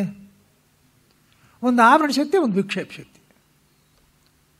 ಆವರಣ ಶಕ್ತಿಯಿಂದ ಅದು ನಿಮಗೆ ಟೋಪಿ ಹಾಕಿದೆ. ಅದು ಅಜ್ಞಾನ, ಅವಿದ್ಯ. ವಿಕ್ಷೇಪ ಶಕ್ತಿಯಿಂದ ಹೀಗೆ ತೋರಿಸುತ್ತೆ? ಎರಡೂ ಅವನೇ. ಅವ್ ನಿಮ್ಗೇನಾದರೂ ಅರ್ಥ ಐತೇನ್ರಿ ಅಂದ್ರೇನು ಒಬ್ಬರೊಬ್ಬರನ್ನು ಒಬ್ಬರೊಬ್ಬರನ್ನು ಅಂತ ಹೇಳ್ತಾರೆ. ಅವಾಗ ಇವ್ರು ಹೇಳಿ ಸರಿ ಅವ್ರು ಹೇಳಿ ಸರಿ ಏನಪ್ಪ ಒಬ್ಬರು ಒಂದೊಂದು ಥರ ಹೇಳ್ತಾರೆ ಅಂತ ತಲೆ ಹೋಗುತ್ತೆ. ಅವಾಗ ಬರೀ ಚರ್ಚೆ ಮಾಡೋದು ಅಂತ ಕೆಲಸ ಆಗುತ್ತೆ. ಗೊತ್ತಾಯ್ತಾ? ಆದ್ದರಿಂದ ಇಷ್ಟು ಸಿದ್ಧಾಂತಗಳಿಗೂ ಮೂಲ ಕಾರಣ ಏನು? ಅಂದರೆ ಈ ಜಗತ್ತು ಅಸತ್ತು ಅಂತ ಒಪ್ಪಿದ್ದು. ಅಸತ್ತು ಅಂತ ಯಾರಿಗೆ ಒಪ್ಸೋದು ಇವಾಗ ನನಗೆ? ನನಗೆ ಜ್ಞಾನ ಬಂದಿಲ್ಲ ಜಗತ್ತು ಇದೆಯಾ ಇಲ್ಲ ಅಂತ ನನಗೆ ಗೊತ್ತಿಲ್ಲ. ನನ್ನ ಪಾಲಿಗೆ ಜಗತ್ತಿದೆ ಅದಕ್ಕೆ ನಾನು ಕಾರಣ ಅಲ್ಲ ನನಗೆ ಗೊತ್ತು. ಯಾವನಾದರೂ ನಿನ್ನ ವಿದ್ಯೆ ನೀನು ಕಲ್ಪನೆ ಮಾಡ್ಕೊಂಡಿದ್ಯಾ ಅಂತ ಹೇಳಿದ್ರೆ ಯಾವನಾದರೂ ಒಪ್ಪ ಮಾತೇನಪ್ಪ ಇದು? ನಿಮ್ಗೆ ಯಾರಾದರೂ ಒಪ್ತೀರಾ? ನನ್ನ ವಿದ್ಯೆಯಿಂದ ಸೂರ್ಯ, ಚಂದ್ರ ಎಲ್ಲ ಕಲ್ಪನೆ ಮಾಡ್ದ ಆ ವಿಧಿಯಿಂದ ನಾನು ಕಲ್ಪನೆ ಮಾಡೋದಕ್ಕೆ ನನಗೆ ಏನು ಬೇಕೋ ಅದು ಕಲ್ಪನೆ ಮಾಡ್ತೀನಿ. ನನಗೆ ಅನಾನುಕೂಲವಾಗಿರೋದೆಲ್ಲ ನಾನೇ ಕಲ್ಪನೆ ಮಾಡಬೇಕು ಹೇಳಿ. ಇವಾಗ ತಿಗಣೆ ನಾನು ಕಲ್ಪನೆ ಮಾಡಬೇಕೆ? ಕೊಚ್ತಾ ಇದೆಯಲ್ಲ? ಛೇ ತಿಗಣೆ ಅನ್ನೋದು ಇಲ್ಲದೆ ಹೋಗಲಿ. ಅಂದರೆ ಅಥವಾ ಹೊಡಬೇಕಾಗಿತ್ತು ಅಥವಾ ಇನ್ಯಾವುದೋ ಇನ್ನೊಂದು ಬರಲಿ, ಅಂದರೆ ಬರಬೇಕಾಗಿತ್ತು? ನನ್ನ ಕೈಲಿ ಇಲ್ಲವೇ ಇಲ್ಲ. ಗೊತ್ತಾಯ್ತಾ? ಹಾಗಾದರೆ ವಿದ್ಯಾಕಲ್ಪಿತ ಅಂದ್ರೆ ಏನು? ಇನ್ಯಾರೋ ಒಬ್ಬರಿನ ಅಂತ ಹೇಳಿ. ಅವಿದ್ಯಾಕಲ್ಪಿತ ಅಂದರೆ ಏನು ಅಂದರೆ, ಅದು ಇದೆ ಅಂತಲೂ ಹೇಳೋಕ್ಕಾಗಲ್ಲ, ಇಲ್ಲ ಅಂತಲೂ ಹೇಳೋಕ್ಕಾಗಲ್ಲ ಅಂತ ಇನ್ನೊಬ್ರು ಅನ್ನೋದು. ಸದಸ್ಭ್ಯಾಮ್ ಅಂದ್ರೆ ಜನ ಏನು ರೀ, ಹಾಗೆ ಹೇಳೋಕೆ ರೀ ಎರಡಕ್ಕೂ ಒಂದೇ ಹಾಗೆ ಹೇಳಿ. ಅಲ್ಲ ರೀ, ಹಾಗೆ ಅಂದರೆ ಅದು ತುಚ್ಛ ಅಂತ ಇನ್ನೊಬ್ಬರು ಏನು ರೀ ಸುಮ್ಮನೆ ಹೀಗೆ ಜಾರ್ಕೊಂಡು ಜಾರ್ಕೊಂಡು ಜಾರ್ಕೊಂಡು ಮಾತಾಡ್ತಾ ಇದ್ದೀರಾ? ಯಾಕೆ ರೀ ದಬಾಯಿಸೋದು? ಸುಮ್ಮನೆ ಒಂದ್ಸಲ ಸ್ಪಷ್ಟವಾಗಿ ಹೇಳಬಾರ್ದೆ? ನಿಮ್ಗೆ ಗೊತ್ತಾಗ್ತಾ ಇದೆಯಾ? ಅಲ್ಲಿ ಏನಾಯಿತು ಅಂದರೆ ನೋಡಿ ಇವಾಗ. ಇಲ್ಲಿ ಹಾಗಿಟ್ಟವರು ಅಧ್ಯಸ್ಥವಾದ್ದಲ್ವ ಅಸತ್ತೆಂದು ಹೇಳುವರು. ಇದನ್ನು ಒಪ್ಪಿದರೆ ಪ್ರಾಜ್ಞನ ವಿಷಯದಲ್ಲಿ ಬುದ್ಧಿ, ಇಂದ್ರಿಯಗಳು ಪುತ್ರಭಾರ್ಯಾದಿಗಳು ಮತ್ತು ತನ್ನ ಶರೀರಗಳು ಮಾತ್ರವೇ ಅಧ್ಯಸ್ಥವಾದ್ದರಿಂದ ಅಷ್ಟು ಮಾತ್ರ ಅಸತ್ತಾಗಬಹುದು ನೋಡಿ ಇವಾಗ. ಆತ್ಮನ ವಿಚಾರವೇನೋ ಕಲ್ಪನೆ ಮಾಡಿ ಹೇಳ್ತಾರಲ್ಲ, ಬಿಟ್ಬಿಡಿ ಆತ್ಮನಲ್ಲಿ. ನಿಮ್ಮನ್ನು ನೀವು ನೋಡ್ಕೊಳ್ಳಿ. ನಾನು ಅಂದರೆ ನಿಜವಾಗಲೂ ಸುಷುಪ್ತಿನಲ್ಲಿ ಇರೋನೋ, ನನಗೂ ಇದಕ್ಕೂ ಸಂಬಂಧವಿಲ್ಲ ಅಂತ ಗೊತ್ತಾಯಿತು. ಹತ್ತಾನೆ ನಾನೇನು ಹೇಳಿದ್ದು? ನನ್ನಲ್ಲಿ. ಅಂದ್ರೇನು? ಪ್ರತ್ಯೇಗಾತ್ಮ, ಸುಷುಪ್ತಾತ್ಮನಾದ ನನ್ನಲ್ಲಿ ಶರೀರಾದಿಗಳಿಲ್ಲ. ನಂಗೆ ಗೊತ್ತಾಯ್ತು ರೀ. ಆದರೆ ಶರೀರ ಇಲ್ಲ ಅಂತ ಹೇಳಿದ್ನಾ? ನಾನೇನು ಹೇಳಲಿಲ್ಲ. ಇದೆ, ಆದರೆ ನಾನು ಅಲ್ಲ ಅಂತ ಹೇಳಿದೆ. ಹೋದ್ರಿ ಅಧ್ಯಾಸ ಮಾಡ್ಕೊಂಡಿದ್ಯಾ? ಅಧ್ಯಾಸವಾದ್ದೆಲ್ಲ ಮಿಥ್ಯ ಅಲ್ಲೇನೆ? ಹೌದಯ್ಯ, ಇಲ್ಲೇ ಇದ್ರು ನೋಡ್ತಾ ಇದ್ದೀನಿ, ಇನ್ನೊಂದು ಮಿಥ್ಯ. ಆದ್ದರಿಂದ ಶರೀರ ಹೋಯ್ತಪ್ಪ ಮಿಥ್ಯ. ಪುತ್ರ, ಭಾರ್ಯ ಮಿಥ್ಯ. ಇವರೆಲ್ಲ ಹೋಗಲಿ. ಇವರಿಲ್ಲ. ಇಲ್ಲವೇ ಇಲ್ಲ. ಶಶಿವಿಷಾಣ. ಆದರೆ ಸೂರ್ಯ ನಾನೇನು ಅಧ್ಯಾಸ ಮಾಡಿಕೊಂಡಿಲ್ಲ? ಚಂದ್ರ ನಾನೇನು ಅಧ್ಯಾಸ ಮಾಡ್ಕೊಂಡಿಲ್ಲ? ಮಾಡ್ಕೊಂಡಿದ್ದೀನಪ್ಪ? ಇಲ್ಲ ತಾನೆ? ಹಾಗಿದ್ರೆ ಹೋಗಲಿ, ಶರೀರ ನನ್ನ ಶ ಇಲ್ಲಿ ಶೈನಿ ಶರೀರ, ಇದೋ ಪುತ್ರ ಭಾರತಿಗಳು ಇಲ್ಲ ಅಸತ್ತು ಅವರೆಲ್ಲ ಇದ್ದಾರಲ್ಲ ಅಲ್ಲಿಗೇನಾಯಿತು ಅಸತ್ತಾದ ಅಸತ್ತು ಅಂತ ಗೊತ್ತಿರೋದ್ರಿಂದ ಇದನ್ನು ಮಿಥ್ಯ ಅಂತ ಹೇಳಿದ್ರು ಬೇರೆ ಉಳಿಯುತ್ತೆ ಜಗತ್ತು. ಎಲ್ಲ ಮಿಥ್ಯ ಅಂತ ಹೇಳಿದ್ರಿಂದ ಏನಾಗೋಯ್ತು? ಜಗತ್ತಿಗೆ ಆಧಾರವೇ ಇಲ್ಲ ಅಂತ ಆಗೋಯ್ತು. ಅಸತ್ತು ಅಸತ್ಗೆ ಎಂಥದ್ದು ಆಧಾರ? ಗೊತ್ತಾಯ್ತಲ್ವಾ?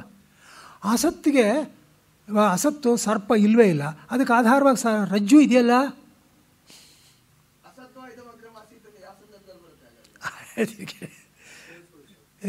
ಚೆನ್ನಾಗಿ ಹೇಳ್ತೀನಿ ಚೆನ್ನಾಗಿದೆ ಹೇಳ್ತೀನಿ. ಇಲ್ಲಿ ಹೇಳ್ತೀರ ಸರ್ಪ ರಜ್ಜು ಇದೆಯಲ್ಲ? ಅಂದರೆ ರಜ್ಜುನಲ್ಲಿ ಇದು ಕಲ್ಪಿತವಾಗಿದ್ರೂ ರಜ್ಜು ಕಲ್ಪಿತವಾಗಿಲ್ಲ. ಭಾಷ್ಯಕಾರ ಉತ್ತರ ನೋಡಿ. ನೋಡಪ್ಪ ಇಲ್ಲಿ ಸರ್ಪ ಇಲ್ಲ ಅನ್ನೋದು ಮುಖ್ಯ ಅಲ್ಲ. ಅದಕ್ಕೆಲ್ಲ ಹೇಳ್ತಾರೆ, ಸರ್ಪ ಅಲ್ಲಿ ಇಲ್ಲ.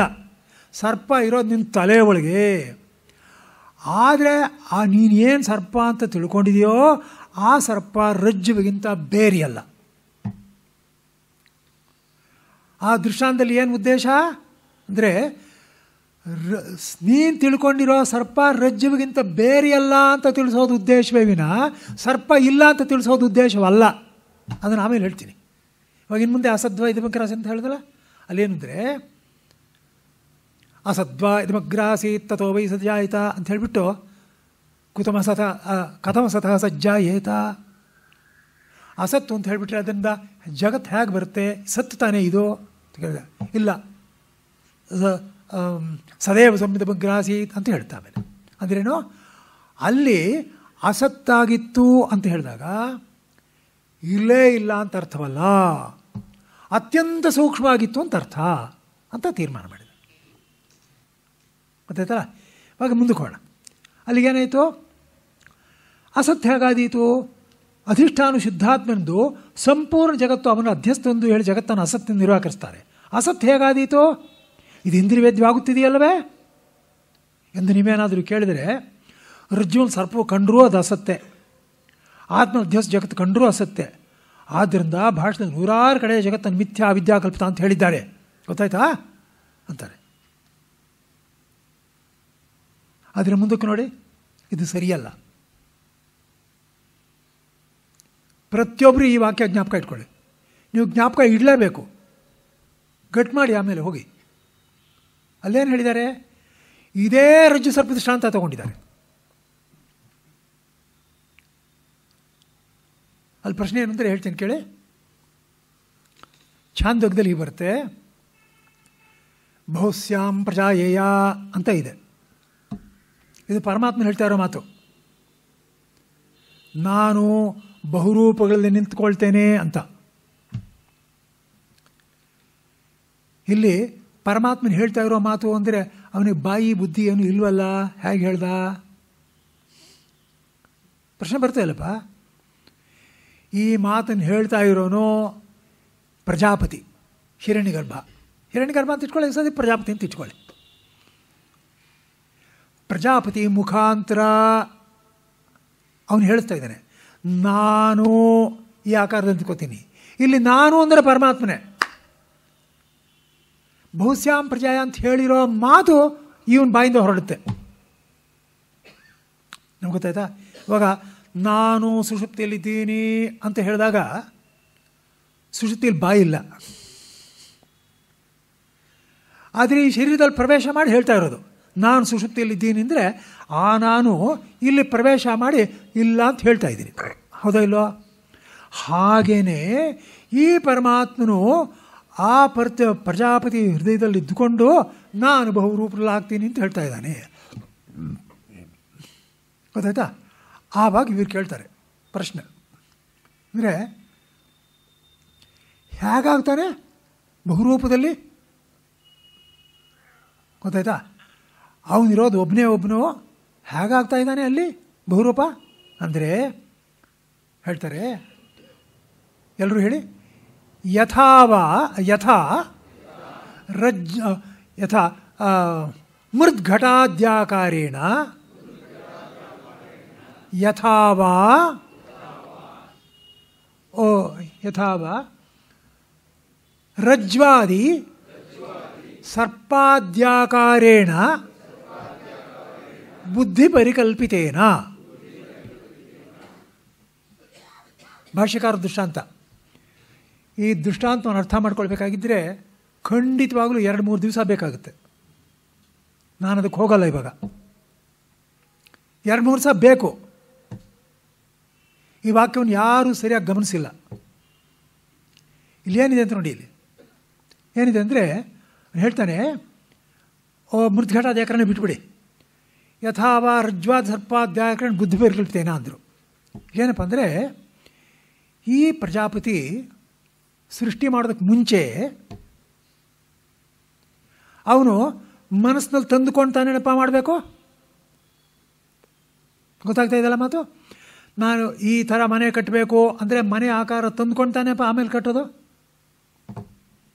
ಹಾಗೇನೇ ಇಲ್ಲಿ ಈ ಪ್ರಜಾಪತಿ ನಾನು ಸೂರ್ಯನನ್ನು ಮಾಡಬೇಕು, ಸೃಷ್ಟಿ ಮಾಡಬೇಕು ಅಂತ ಹೇಳಿದ ಕೂಡಲೇ ಬುದ್ಧಿನಲ್ಲಿ ಪ್ರತ್ಯಯ ಬರುತ್ತೆ ಏನು ಪ್ರತ್ಯಯ ಬರುತ್ತೆ? ಮುಂದೆ ಉಂಟಾಗಬೇಕಾ ಸೂರ್ಯನ ಪ್ರತ್ಯಯ ಬರುತ್ತೆ. ಮುಂದೆ ಉಂಟಾಗೋ ಸೂರ್ಯನ ಪ್ರತ್ಯಯ ಇವನ ಬುದ್ಧಿನಲ್ಲಿ ಹೇಗೆ ಬಂತು? ಯಥಾಪೂರ್ವಂ. ಗೊತ್ತಾಯ್ತಾ? ಯಥಾಪೂರ್ವಂ ಅಂದರೆ ಏನಾಯಿತು? ಅಲ್ಲಿಗೆ ಪ್ರಜಾಪತಿಯನ್ನು ಮುಂಚೆ ಸೂರ್ಯನ ಸೂರ್ಯ ಅಂತ ನೋಡಿದ್ದ. ಮುಂಚೆ ಹಿಂದೆ ಅವನು ಅಜ್ಞಾನಿಯಾಗಿದ್ದ ತಪಸ್ ಮಾಡಿ ಸ್ಥಾನವನ್ನು ಪಡ್ಕೊಂಡಿದ್ದಾನೆ. ಅವನ ಆಸೆ ಏನು ಅಂದರೆ ನಾನು ಸೃಷ್ಟಿಕರ್ತ ಆಗಬೇಕು ಅಂತ ಪೈಲ್ವಾನು ನಿಂತ್ಕೊಂಡ್ಬಿಟ್ಟ. ಅವನ ತಪಸ್ ಸಿದ್ಧಿ ಆಯಿತು. ಭಗವಂತ ಅಲ್ಲಿಟ್ಟ ಯಾಕೆ? ಪರಮಾತ್ಮ ಪ್ರವೃತ್ತಿ ಇಲ್ಲ. ನಾನು ಹಾರಿಸ್ತಾ ಇದ್ದೀನೋ ಏನೋ ದೂರ ಇದಾಗುತ್ತೆ ಗೊತ್ತಾಗ್ತಾ ಇದೆಯಾ? ಪರಮಾತ್ಮ ನಾನು ಹಾಡಬೇಕು ಅಂತ ಬರೋದಿಲ್ಲ. ಅಜ್ಞಾನಿಗೆ ಬರುತ್ತೆ. ನಾನು ಪ್ರವೃತ್ತಿ ಇಲ್ಲ. ಯಾಕಂದ್ರೆ ನಂಗೆ ಅಜ್ಞಾನ ಇಲ್ಲ. ನಾನು ಬರೀ ಸಾಮರ್ಥ್ಯ ಇದೆ ಅಷ್ಟೇ. ಈ ಪ್ರವೃತ್ತಿ ಯಾರಿಗಿದೆ? ಏ, ಈ ಪ್ರಜಾಪತಿಗಿದೆ. ಅವನ ಅಜ್ಞಾನಿ. ಸರಿ, ಅವನ ಮುಖಾಂತರ ಮಾಡಿದ್ರೆ ಆಯ್ತು, ಏನು ಬೇಗ ಅಂತ ಒಳಗಡೆ ಸೇರಿಕೊಂಡ. ಅನೇನು ಆತ್ಮ, ನಾನು ಪ್ರವೇಶ ಅಂತ. ಸೇರಿಕೊಂಡು ಅವನ ಬುದ್ಧಿನಲ್ಲಿ ಬಂತು. ಇವನೇ ನೋಡಿ ಸೂರ್ಯ ಅವನ ಜ್ಞಾಪಕಕ್ಕೆ ಬಂತು. ಸೂರ್ಯ ಚಂದ್ರಮಸೋ ಧಾತ ಯಥಾಪೂರ್ವಮ ಕಲ್ಪಯತ್. ಜ್ಞಾಪಕ ಬಂತು. ಜ್ಞಾಪಕ ಅಂದ್ಕೊಂಡ್ಮೇಲೆ ಇವಾಗ ಘಟಕಾರ ಮನಸ್ಸಲ್ಲಿ ಬಂತು. ಘಟ ಮಾಡಬೇಕಾಗಿದ್ದರೆ ಮೃತಿಕ ತಗೋಬೇಕೋ ಇಲ್ಲ? ಹಾಗೆಯೇ ಅವನು ಸೂರ್ಯನ ಆಕಾರ ತಗೊಂಡು ಮನಸ್ಸಿನಲ್ಲಿ ಇಟ್ಕೊಂಡು ಅದರಂತೆ ಮಾಡೋದಕ್ಕೆ ಏನು ತೊಗೊಂಡ? ಈಶ್ವರನ ಪ್ರಕೃತಿಯನ್ನು ತೊಗೊಂಡ. ಗೊತ್ತಾಗ್ತಾ ಇದೆಯಾ? ಇವನ ಸಾಮರ್ಥ್ಯ ಅಲ್ಲ ಅದು. ಈಶ್ವರನ ಪ್ರಕೃತಿ ತೊಗೊಂಡ. ಅಂದ್ರೇನು ತನ್ನ ಮಾತ್ರೆಗಳನ್ನ ಅದನ್ನೆಲ್ಲ ಪಂಚಭೂತಗಳನ್ನ ತೊಗೊಂಡ. ತೊಗೊಂಡು ಹೀಗೆ ಹೀಗೆ ಮಾಡಿ ಸೂರ್ಯನ ಮಾಡ್ದ. ಹೀಗೆ ಹೀಗೆ ಮಾಡಿ ಸೂರ್ಯ ಚಂದ್ರನ ಮಾಡ್ದ. ಹೀಗೆ ಹೀಗೆ ಮಾಡಿ ಪೃಥ್ವಿ ಮಾಡ್ದ. ಎಲ್ಲ ಮಾಡ್ದ. ಅವಾಗ ಏನಾಯ್ತು ಅಲ್ಲಿಗೆ ಅಂದರೆ, ಇರೋದು ಒಂದೇ ರಜ್ಜು, ಪರಮಾತ್ಮನು ಅಂತ. ಪರಮಾತ್ಮನ ಸ್ಥಾನದಲ್ಲಿ. ಅದೇನಾಯಿತು ಸರ್ಪಾದಿ ಆಕಾರೇಣ. ಒಬ್ಬನಿಗೆ ಸರ್ಪ ಅಂತಾಯಿತು, ಇನ್ನೊಬ್ಬನಿಗೆ ಇದ್ದು ಅಂತಾಯಿತು ಇವನು ಬುದ್ಧಿ ಪ್ರತ್ಯಯ ಬರ್ತೇನೆ ನೋಡಿ? ಬುದ್ಧಿ ಪ್ರತಿಪ ನೋಡ, ನೋಡ್ತಾ ಇರ್ತಾನೆ. ಇದಲ್ಲಿರೋದು ಭಾಷೆದಲ್ಲಿರೋದು ಗಮನ ಕೊಟ್ಟು ಕೇಳಿ. ತುಂಬ ಎಚ್ಚರಿಕೆಯಿಂದ ಇರಬೇಕು? ತುಂಬ ಟೆನ್ಷನ್ ಇದೆ ಒಂದು ಗಂಟೆಯಿಂದ. ತುಂಬ ಗಮನ ಕೊಟ್ಕೊಳ್ಳಿ ಈ ಬುದ್ಧಿನಲ್ಲಿ ಇಟ್ಕೊಂಡಿರೋ ಘಟ ಎದುರುಗಡೆ ಇರೋ ಘಟಕ್ಕಿಂತ ಬೇರೆಯಲ್ಲ. ಗೊತ್ತಾಗ್ತಾ ಇದೆ ನಿಮಗೆ? ಎದುರುಗಡೆ ಇರೋ ಘಟಕ್ಕಿಂತ ಅದು ಬೇರೆಯಲ್ಲ. ಆದರೆ ಘಟ ಇದಕ್ಕಿಂತ ಬೇರೆ. ನೋಡಿ ಇನ್ನೊಂದ್ಸಲ ಹೇಳ್ತೀನಿ. ಬುದ್ಧಿನಲ್ಲಿ ಬಂದಿರೋ ಘಟದ ಆಕಾರ ಇದೆಯಲ್ಲಪ್ಪ? ಮಡಿಕೆಗಿಂತ ಬೇರೆನಾ? ಬೇರೆ ಅಲ್ಲ ಅಂತ ಐತೋ ಅಲ್ಲ ಬೇರೆ ಅಲ್ಲ. ಆದರೆ ಇದಕ್ಕಿಂತ ಅದು ಬೇರೆ. ಯಾತಕ್ಕೆ? ಅಂದರೆ ಇದರಲ್ಲಿ ಮಣ್ಣಿಲ್ಲ, ಅದರಲ್ಲಿ ಮಣ್ಣಿದೆ. ಗೊತ್ತಾಗ್ಲಿಲ್ವಾ? ಸ್ಪಷ್ಟವಾಯ್ತಲ್ಲ? ಅದು ನೋಡಿ ಎಷ್ಟು ಚಮತ್ಕಾರವಾಗಿದೆ ಇಲ್ಲಿ. ಇಲ್ಲಿ ಇವು ನಿಮಿತ್ತ ಕಾರಣ ಕುಂಬಾರ. ನಿಮಿತ್ತ ಕಾರಣ ಮಾಡ್ತಾ ಇರೋದು ಮಡಿಕೆ, ಅಲ್ಲಿ ಎದುರುಗಡೆ ಇದೆ. ಮುಂಚೆ ಘಟಾಕಾರ ಮನಸ್ಸಿನಲ್ಲಿ ಬಂತು. ಈ ಘಟಾಕಾರ ಆ ಮಡಿಕೆಗಿಂತ ಬೇರೆಯಲ್ಲ. ಆ ಮಡಿಕೆ ಪರಮಾತ್ಮನಿಗಿಂತ ಬೇರೆಯಲ್ಲ. ಅಲ್ಲಿಗೇನಾಯಿತು ಈ ಘಟಾಕಾರ ಪ್ರತ್ಯಯ ಪರಮಾತ್ಮನಿಗಿಂತ ಬೇರೆಯಲ್ಲ. ಆದರೆ ಪರಮಾತ್ಮನು ಇದಕ್ಕಿಂತ ಬೇರೆ. ಗೊತ್ತಾಯ್ತಾ? ಆದ್ದರಿಂದ ನೀವು ಉಪಾದ ನಿಮಿತ್ತ ಕಾರಣವಾಗಿರ್ತಕ್ಕಂಥ ಪ್ರಜಾಪತಿ ಹೇಳ್ತಾ ಇದ್ದಾನೆ ನಿಮಿತ್ತ ಕಾರಣ ರೂಪದಲ್ಲಿ. ಏನು ಅಂದರೆ ಯಥಾವಾ ರಜ್ವಾದ ಸರ್ಪಾದ್ಯಾಕಾರ ಬುದ್ಧಿ ಪರಿಕಲ್ಪಿತೇನ, ಅವನು ಬುದ್ಧಿನಲ್ಲಿ ಕಲ್ಪನೆ ಮಾಡಿ ಮಾಡಿ ಅದಕ್ಕೆ ಅದರಂತೆ ಅದರಂತೆ ಮಾತಾ ಎತ್ತಿಡ್ತಾ ಇದ್ದಾನೆ. ಆದ್ದರಿಂದ ಇವನು ಬುದ್ಧಿನಲ್ಲಿ ಬಂದಂಥ ಆಕಾರ ಬ್ರಹ್ಮಕ್ಕಿಂತ ಬೇರೆಯಲ್ಲ. ಆಕಾರಗಳು ಬ್ರಹ್ಮಕ್ಕಿಂತ ಬೇರೆಯಲ್ಲ. ಆಕಾರಗಳು ಆ ಎದುರು ವಸ್ತುಗಳಿಗಿಂತ ಬೇರೆಯಲ್ಲ. ವಸ್ತುಗಳು ಪರಮಾತ್ಮನಿಗಿಂತ ಬೇರೆಯಲ್ಲ. ಅವನೊಬ್ಬನೇ ಗೊತ್ತಾಯ್ತಲ್ಲ ಆದ್ದರಿಂದ ಇದೆಲ್ಲವೂ ಒಂದೂ ಪರಮಾತ್ಮನಿಗಿಂತ ಬೇರೆಯಲ್ಲ. ನಿಮ್ಗೆ ಅರ್ಥ ಆಯ್ತೇನ್ರಿ ಆದ್ದರಿಂದ ಭಾಷೆಕಾರ ಏನು ತೋರಿಸಿರೋದು? ಅಂದರೆ, ನೀನು ನಿಮಿತ್ತ ಕಾರಣ ಅಂತ ಇಟ್ಕೊಂಡಾಗ, ಇಟ್ಕೊಂಡ್ರು ಕೂಡ ನಿಮಿತ್ತ ಕಾರಣ ಯಾರು? ಯಾರು ಮುಂಚೆ ಬುದ್ಧಿ ಪ್ರತ್ಯಯ ಪಡ್ಕೊಳ್ತಾನೆ ಅವನು ತಾನೇ ನಿಮಿತ್ತ ಕಾರಣ. ಆ ಪ್ರತ್ಯಯಗಳು ಬ್ರಹ್ಮಕ್ಕಿಂತ ಬೇರೆಯಲ್ಲ ಅದನ್ನು ಬ್ರಹ್ಮ ಇಷ್ಟೆಲ್ಲ ಆಗಿದೆ. ಅನನ್ಯ. ಇನ್ನು ಉಪಾದಾನ ಕಾರಣ ತಗೊಂಡು ಮೃದ್ಘಟಾತಿ ಕಾರಣ ಅಂದರು. ಅಂದರೆ ಮೃತ್ ಕಾರಣ ಅಂತ ಇಟ್ಕೊಂಡ್ರೆ ಅವು ಸ್ಪಷ್ಟವೇ. ಇವಾಗ ಮಣ್ಣು ಪರಮಾತ್ಮನಿಗಿಂತ ಬೇರೆ ಅಲ್ಲ. ಆದ್ದರಿಂದ ಘಟ ಪರಮಾತ್ಮನಿಗಿಂತ ಬೇರೆ ಅಲ್ಲ. ಆದ್ದರಿಂದ ಯಥಾ ಮೃದ್ಘಟಾದ್ಯಾಕಾರಣ ಅಂದಾಗ ಉಪಾದಾನ ಕಾರಣ ಇಟ್ಕೊಂಡ್ರು. ಯಥಾ ರಜ್ವಾ ಬುದ್ಧಿ ಪರಿಲ್ಪಿತೇನ ಅಂತಂದಾಗ ನಿಮಿತ್ತ ಕಾರಣ ಇಟ್ಕೊಂಡ್ರು. ನೀನು ಉಪಾದಾನ ಕಾರಣ ಇಟ್ಕೊಂಡ್ರು ಪರಮಾತ್ಮನಿಂದ ಬೇರೆಯಲ್ಲ. ನಿಮಿತ್ತ ಕಾರಣ ಅಂತ ಇಟ್ಕೊಂಡ್ರು ಪರಮಾತ್ಮನಿಂತ ಬೇರೆಯಲ್ಲ. ಅಂದ್ರೇನು? ವಸ್ತುಗಳ ದೃಷ್ಟಿಯಿಂದ ನೋಡಿದ್ರೂ ಉಪಾದಾನ. ನಿಮಿತ್ತ ಕಾರಣ ದೃಷ್ಟಿ ಇವನು. ಇವನಲ್ಲೂ ಪ್ರತಿಯೊಂದು ಮುಖಾಂತರ ಪುನಃ ಅನನ್ಯ. ಅಂದ್ರೇನು? ಜಗತ್ತು ಜಗತ್ತಾಗಲಿ. ಆ ಜಗತ್ತಿನ ಪ್ರತ್ಯಯಗಳಾಗಲಿ ಎರಡೂ ಪರಮಾತ್ಮನಿಗಿಂತ ಬೇರೆಯಲ್ಲ.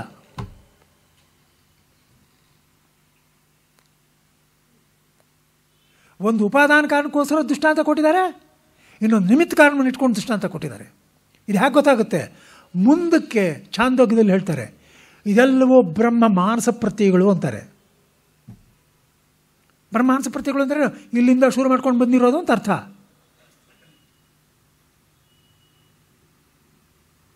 I don't know whether I have explain ಏನಪ್ಪ, ಗೊತ್ತಾಯ್ತೇನಪ್ಪ ಇಲ್ಲಿ ಪ್ರಾಜ್ಞನನ್ನ ನಿಮಿತ್ತ ಕಾರಣ ಅಂತ ತಗೊಂಡ್ರೆ ಸರಿ ಆಗುತ್ತೆ ಹಾಗಾದ್ರೆ ಇವಾಗ ಪ್ರಾಜ್ಞೆ ಬೇರೆ ಬೇರೆ. ಬರೀ ಇಲ್ಲ ನಾವು ಮಾತಾಡ್ತಾ ಇರೋದಲ್ಲಿ ಶಾಸ್ತ್ರ. ಇಲ್ಲಿ ಅಧ್ಯಾಸ ಬಿಡ್ಬಿಡಿ have made mess up clear ಇನ್ನೂ ಚರ್ಚೆ ಆಗಬೇಕಲ್ಲ? ಗೊತ್ತಾಯ್ತು. ಅಲ್ಲ, ನೀವು ಪ್ರಶ್ನೆ ಕೇಳಿ. ಬಟ್ ಒಂದು ಕಂಟೆಂಟ್ ಒಂದು ನಾನು ಹೇಳಿದೆಲ್ಲ ಸ್ಪಷ್ಟವಾಗಿದೆ ಅಲ್ವಾ? ಅದ್ರ ಮೇಲೆ ಪ್ರಶ್ನೆಗಳು ಬರಲಿ, ಇವಾಗ ಬೇಡ. ಇವಾಗ ಬೇಡ ಪ್ರಶ್ನೆಗಳು. ನೀವು ಖಂಡಿತ ಕೇಳಬೇಕು ನನ್ನ ಆಸೆ, ಪ್ರಶ್ನೆಗಳನ್ನ. ಆದರೆ ಇಲ್ಲೇ ಚರ್ಚೆ ಆಗೋದು ಬೇಡ ಇನ್ನೊಂದು ಎಕ್ಸಾಂಪಲ್ ಕೊಡ್ಬೋದು ನೀವು ಆರ್ಕಿಟೆಕ್ಟು ಅದೇ. ಆ ಆಕಾರ ಮಾಡ್ತಾ. ಅದೇ. ಹಾಗೆ. ಗೊತ್ತಾಯ್ತಲ್ಲ ಹಾಂ.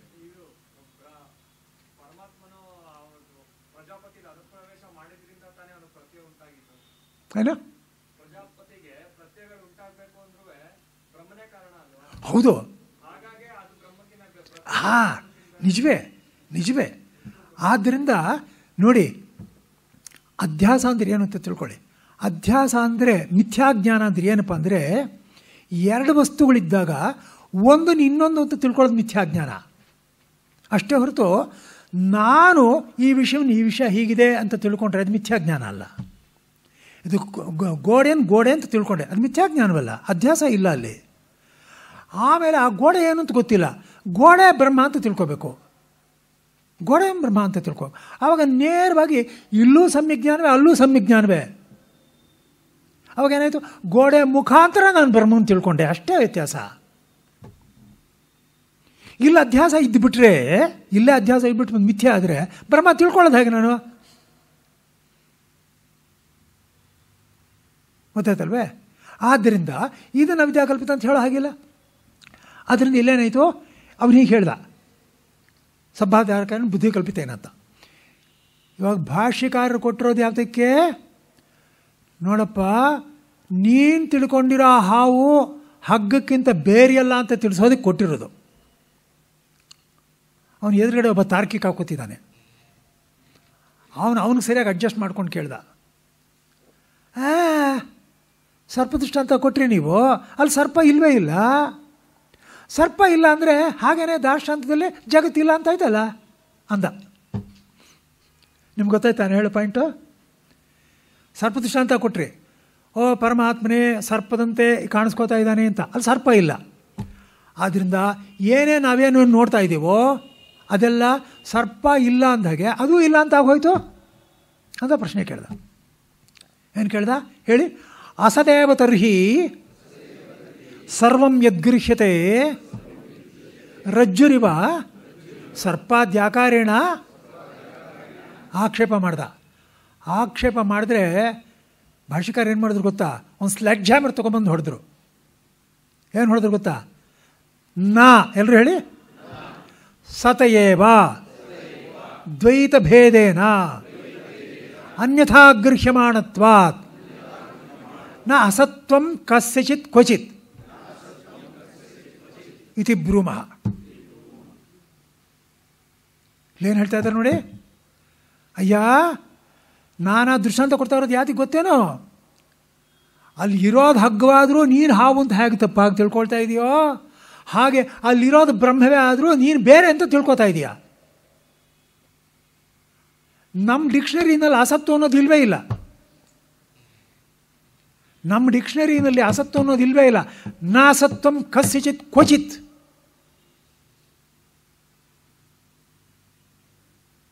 ನೀ ಏನೇನು ನೋಡ್ತಾ ಇದೆಯೋ ಅದೆಲ್ಲ ಸತ್ತೆ ನೀ ಏನೇನು ತಿಳ್ಕೊಳ್ತಾ ಇದೆಯೋ ಅದೆಲ್ಲ ಸತ್ಯ.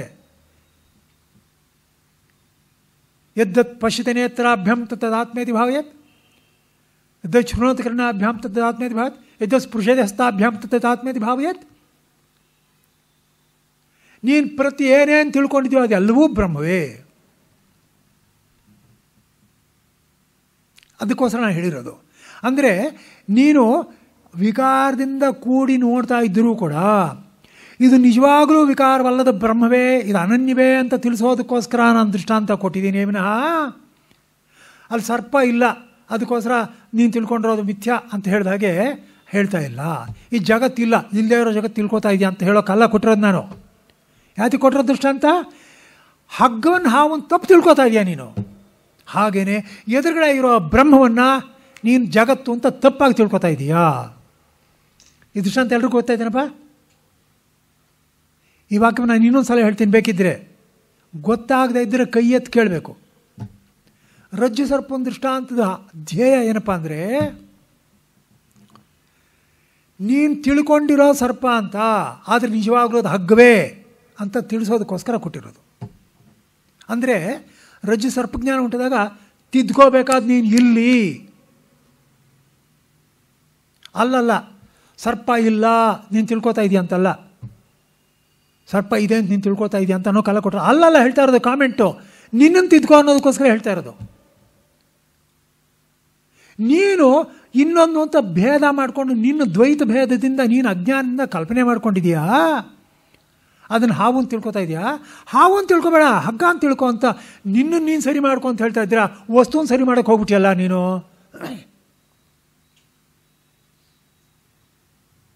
ದೃಷ್ಟಾಂತ ಎಲ್ರಿಗೂ ಗೊತ್ತಾಯ್ತಾ? ಆದ್ದರಿಂದ ಇಲ್ಲೇನು ಹೇಳಿದ್ದಾರೆ? ನ ಅಸತ್ತಲ್ಲ. ಎದುರುಗಡೆ ಇರೋದು ಅಸತ್ ಅಂತ ಹೇಳ್ತೀಯಾ? ಅಸತ್ತಲ್ಲ. ಸತಯೇವ ಸದ್ವಸ್ತುವೇ ದ್ವೈತ ಭೇದೇನ ಅಂದರೆ ನಿನ್ನ ಅಜ್ಞಾನದಿಂದ ನೀನು ಅನ್ಯಥಾ ಗೃಹ್ಮಾಣತ ನೀನು ಇನ್ನೊಂದು ಅಂತ ತಿಳ್ಕೊತಾ ಇದೆಯಾ? ಆದ್ದರಿಂದ ಅಸತ್ತು ಅನ್ನೋದು ನಮ್ಮ ಡಿಕ್ಷನರಿಯಲ್ಲಿ ಇಲ್ಲ. ಇವಾಗ ಹೇಳಿ, ನೀವು ಪ್ರತಿಯೊಬ್ಬರೂ ಶಾಸ್ತ್ರ ಓದ್ದವನು ಹಾಗೆ ತಿಳ್ಕೊಳ್ದೇ ಇರ್ಬೋದು. ಸಾಮಾನ್ಯ ಜನರು ನೀವೆಲ್ಲ ಹೇಳಿ. ಇದೇ ರಜ್ಜು ಸರ್ಪ ದೃಷ್ಟಾಂತ ಕೊಟ್ಟು ಯಾವ ರೀತಿ ಸರ್ಪ ಅಸತ್ತೋ, ಆ ರೀತಿ ಜಗತ್ತು ಅಸತ್ ಅಂತ ಹೇಳ್ತಾ ಇದೆಯೋ ಇಲ್ಲೋ ಹಾಗೆ ತಾನೇ ನಾವೆಲ್ಲ ತಿಳ್ಕೊಂಡಿರೋದು? ಅದು ತಪ್ಪು.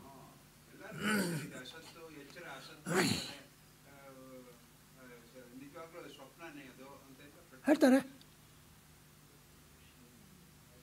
ಆದ್ದರಿಂದ ಹೀಗೆ ಹೇಳಬಾರ್ದು. ಅಸತ್ತು ಅಂದ್ರೆ ಏನು ಅಂತ ಹಾಗಾದ್ರೆ ಕೇಳಿ ಇವಾಗ. ಅಸತ್ತು ಅಂದ್ರೆ ಏನು? ನೋಡಿ, ಕಾರ್ಯಂ ಆಕಾಶಾದಿಕಂ ಬಹುಪ್ರಪಂಚಂ ಜಗತ್, ಕಾರಣಂ ಪರಂಬ್ರಹ್ಮ.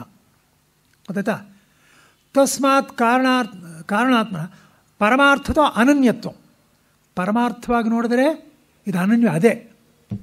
ಆದರೆ ವ್ಯತಿರೇಕೇಣ ಬ್ರಹ್ಮಕ್ಕಿಂತ ಬೇರೆ ಅಂತ ತಿಳ್ಕೊಂಡ್ರೆ ವ್ಯತಿರೇಕೇಣ ಅಭಾವ ಕಾರ್ಯ ಅಸತ್ತು. ಅದಿಲ್ವೇ ಇಲ್ಲ.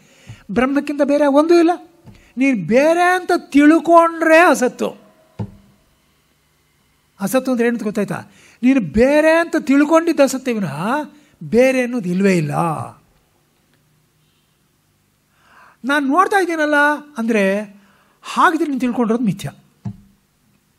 ಹಾಗೆ ನೋಡಿ. ನಾನು ಈ ಜಗತ್ತನ್ನು ಬೇರೆ ಅಂತ ಬ್ರಹ್ಮಕ್ಕಿಂತ ಬೇರೆ ಅಂತ ನಾನು ತಿಳ್ಕೊಂಡಿದ್ರೆ, ಆ ಬೇರೆ ಅಂತ ತಿಳ್ಕೊಂಡಿರೋ ಇಲ್ಲಿದೆಯಲ್ಲ? ಆ ಜಗತ್ತು ಬೇರೆ ಅಂತ ತಿಳ್ಕೊಂಡಿರೋದು ಇಲ್ಲಿದೆ, ಅಲ್ಲಿಲ್ಲ. ಇದು ಅಸತ್ಯ, ಇದು ಮಿಥ್ಯ. ನೋಡಿ, ಹೇಗಿದೆ ಈ ವಾಕ್ಯ? ಅಗ್ರೆ ಎದುರುಗಡೆ, ಅವಿದ್ಯಾದೃಷ್ಟೀನಾಂ ಪ್ರತ್ಯೋಭಾಸಮಾನಂ. ಅಂದರೆ ನನ್ನಂಥ ಅವಿದ್ಯೆ ಇರತಕ್ಕಂಥ ಅವ್ರ ದೃಷ್ಟಿಯಲ್ಲಿ ನನಗೇನು ಕಾಣಿಸುತ್ತೆ? ಅಬ್ರಹ್ಮ ಇವ ಪ್ರತ್ಯೋಭಾಸಮಾನ. ಇದು ಬ್ರಹ್ಮವಲ್ಲ ಬ್ರಹ್ಮಕ್ಕಿಂತ ಬೇರೆ ಅಂತ ನಂಗೆ ಅನ್ನಿಸ್ತಾ ಇದೆ ಒಂದು ನಿಮಿಷ ಒಂದು ನಿಮಿಷ ಇವಾಗ ಕೇಳಿ. ನನಗೆ ಬ್ರಹ್ಮಕ್ಕಿಂತ ಬೇರೆ ಅನ್ನಿಸ್ತಾ ಇದೆ. ಆ ಬ್ರಹ್ಮ ಇವ ಬ್ರಹ್ಮಕ್ಕಿಂತ ಬೇರೆ ಅನ್ನುವ ತರಹ ಯಾರಿಗೆ ಅವಿದ್ಯಾ ದೃಷ್ಟಿನಾಂ ಪ್ರತ್ಯೋಭಾಸಮಾಂ ಜಗತ್ತಿದೆಯೋ ಅದು ಬ್ರಹ್ಮೈವ ನಿಜವಾಗ್ಲೂ ಬ್ರಹ್ಮವೇ. ಇವನು ತಿಳ್ಕೊಂಡಿರೋ ತಪ್ಪು. ಯಾಕೆಂದರೆ ಬ್ರಹ್ಮ ಪ್ರತ್ಯಯ ಸರ್ವ ಇವನು ಏನು ತಿಳ್ಕೊಂಡಿದ್ದಾನೋ ಅದು ರಜ್ವ ಅವಿದ್ಯಾ ಮಾತ್ರ ರಜ್ವ ಸರ್ಪ ಪ್ರತ್ಯ.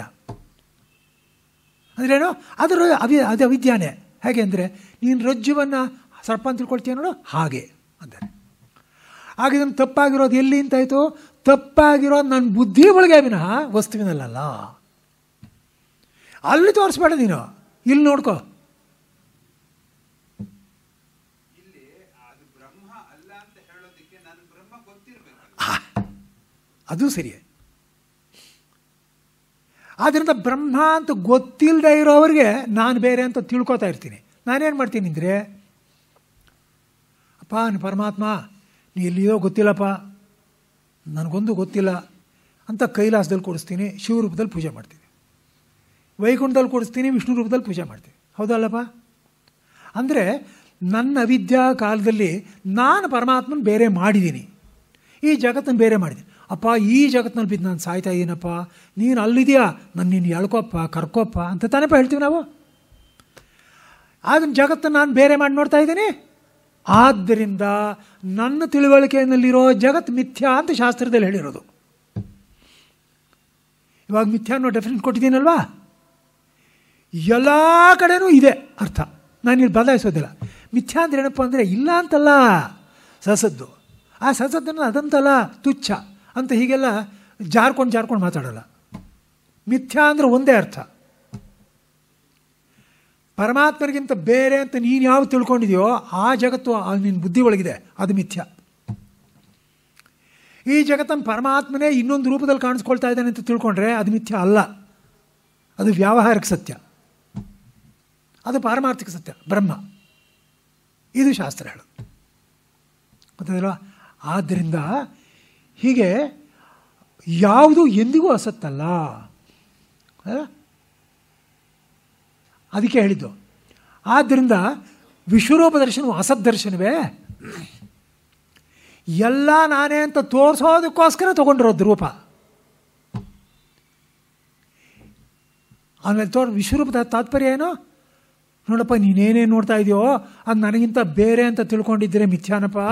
ಅದು ಬೇರೆ ಅಲ್ಲ, ನಾನೇ. ಅಂತ ತಿಳಿಸೋದಕ್ಕೋಸ್ಕರ ವಿಶ್ವರೂಪ ದರ್ಶನ ಕೊಟ್ಟಿರೋದು. ಎಲ್ಲವೂ ನಾನೇ ಅಂತ ತಿಳ್ಕೊಳ್ಳೋದಕ್ಕೆ ದಿವ್ಯದೃಷ್ಟಿ ಕೊಡಬೇಕು. ಬೇರೆ ಅಂತ ತಿಳ್ಕೊಳ್ಳೋದು ದಿವ್ಯದೃಷ್ಟಿ ಅದಕ್ಕೆ ರೀ. ಬೇರೆ ಅಂತ ಗೊತ್ತೇ ಇದೆ ನನಗೀಗ ನಾನು ತಿಳ್ಕೊಂಡಿರೋ ತಪ್ಪು ಅಂತ ತಿಳ್ಸೋಕಲ್ವೇ ಕೊಟ್ಟಿರೋದವನು ಗೊತ್ತಾಯ್ತಾ ಇಲ್ಲ? ಆದ್ದರಿಂದ ರ, ಆದ್ದರಿಂದ ಜಗತ್ತು ರಜ್ಜಿಸಲ್ಪದಂತೆ ಅಸತ್ತೆಂಬ ಕಲ್ಪನೆಯು ತಾನೇ ಬಹುರೂಪಗಳಲ್ಲಿ ನಿಲ್ಲಬೇಕೆಂಬ ಸಂಕಲ್ಪದಿಂದ ಬ್ರಹ್ಮವು ತಾನೇ ಜಗದಾಕಾರವನ್ನು ಪಡೆದುಕೊಂಡಿದೆ ಎಂಬ ಶ್ರುತಿ ವಿರಚನಕ್ಕೆ ಅತ್ಯಂತ ವಿರುದ್ಧವು, ಭಾಷ್ಯವಚನಕ್ಕೂ ವಿರುದ್ಧವು. ಆ ಸದ್ಯಕ್ಕೆ ನಿಲ್ಲಿಸ್ಕೊತೇನೆ ಮುಂದಿಂದಿರಲಿ ನಾನು ವಿಶೇಷವಾದಂಥ ಚರ್ಚೆ ಇದ್ದರೆ ಹೇಳಿ. ನಾನು ಇಲ್ಲಿ ಶಂಕರಮೃದ ಎದುರುಗಡೆ ಇರ್ತೀನಿ. ಖಂಡಿತ ಬನ್ನಿ. ನನಗೆ ಸಂಜೆ ಹೊತ್ತು ಹೋಗಬೇಕು, ಬೆಳಗ್ಗೆ ಹೊತ್ತು ಎಲ್ಲೆಲ್ಲೋ ಹೋಗ್ತಾ ಇರ್ತೀನಿ, ಹಾಗೂ ಇರುತ್ತೆ. ಮಧ್ಯಾಹ್ನ ಬಂದರೆ ಸಿಗ್ತೀನಿ. ಇಲ್ಲೇ ಹೋದರೆ ಇನ್ಯಾವುದಾದ್ರೂ ಟೈಮ್ ಹೇಳಿದ್ರೆ ಆವಾಗಲಾದರೂ ಬರ್ಬೋದು ನನಗೆ ನಿಮಗೆ ತಿಳಿಸ್ಕೊಡೋದು ಉದ್ದೇಶವೇ ವಿನಃ ಏನೋ ಹೇಳ್ಬಿಟ್ಟು ಹೋಗೋದು ನನ್ನ ಉದ್ದೇಶ ಅಲ್ಲ. ಅದಕ್ಕೋಸ್ಕರ ನಾನು ಕಾತುರನಾಗಿದ್ದೀನಿ ನಿಮ್ಮ ಪ್ರಶ್ನೆಗಳು ಬಗ್ಗೆ ಹೇಳೋದಕ್ಕೆ. ಹೇಳಿ. ಶ್ರುತಿ ಸ್ಮೃತಿ ಪುರಾಣಾನ. ಕರುಣಾಲಯಂ ನಮಾಮಿ ಭಗವತ್ಪಾದ ಶಂಕರಂ ಲೋಕಶಂಕರಂ. ಶಂಕರಂ ಶಂಕರಾಚಾರ್ಯ. ಕೇಶವಂ ಬಾದರಾಯಣಂ. सूत्रभाष्यकृतवन् भगवन्तौ पुनः पुनः। ईश्वरो गुरुरात्मे मूर्तिभेदविभागिने व्योमवद्व्याप्तदेहाय दक्षिणामूर्तये नमः।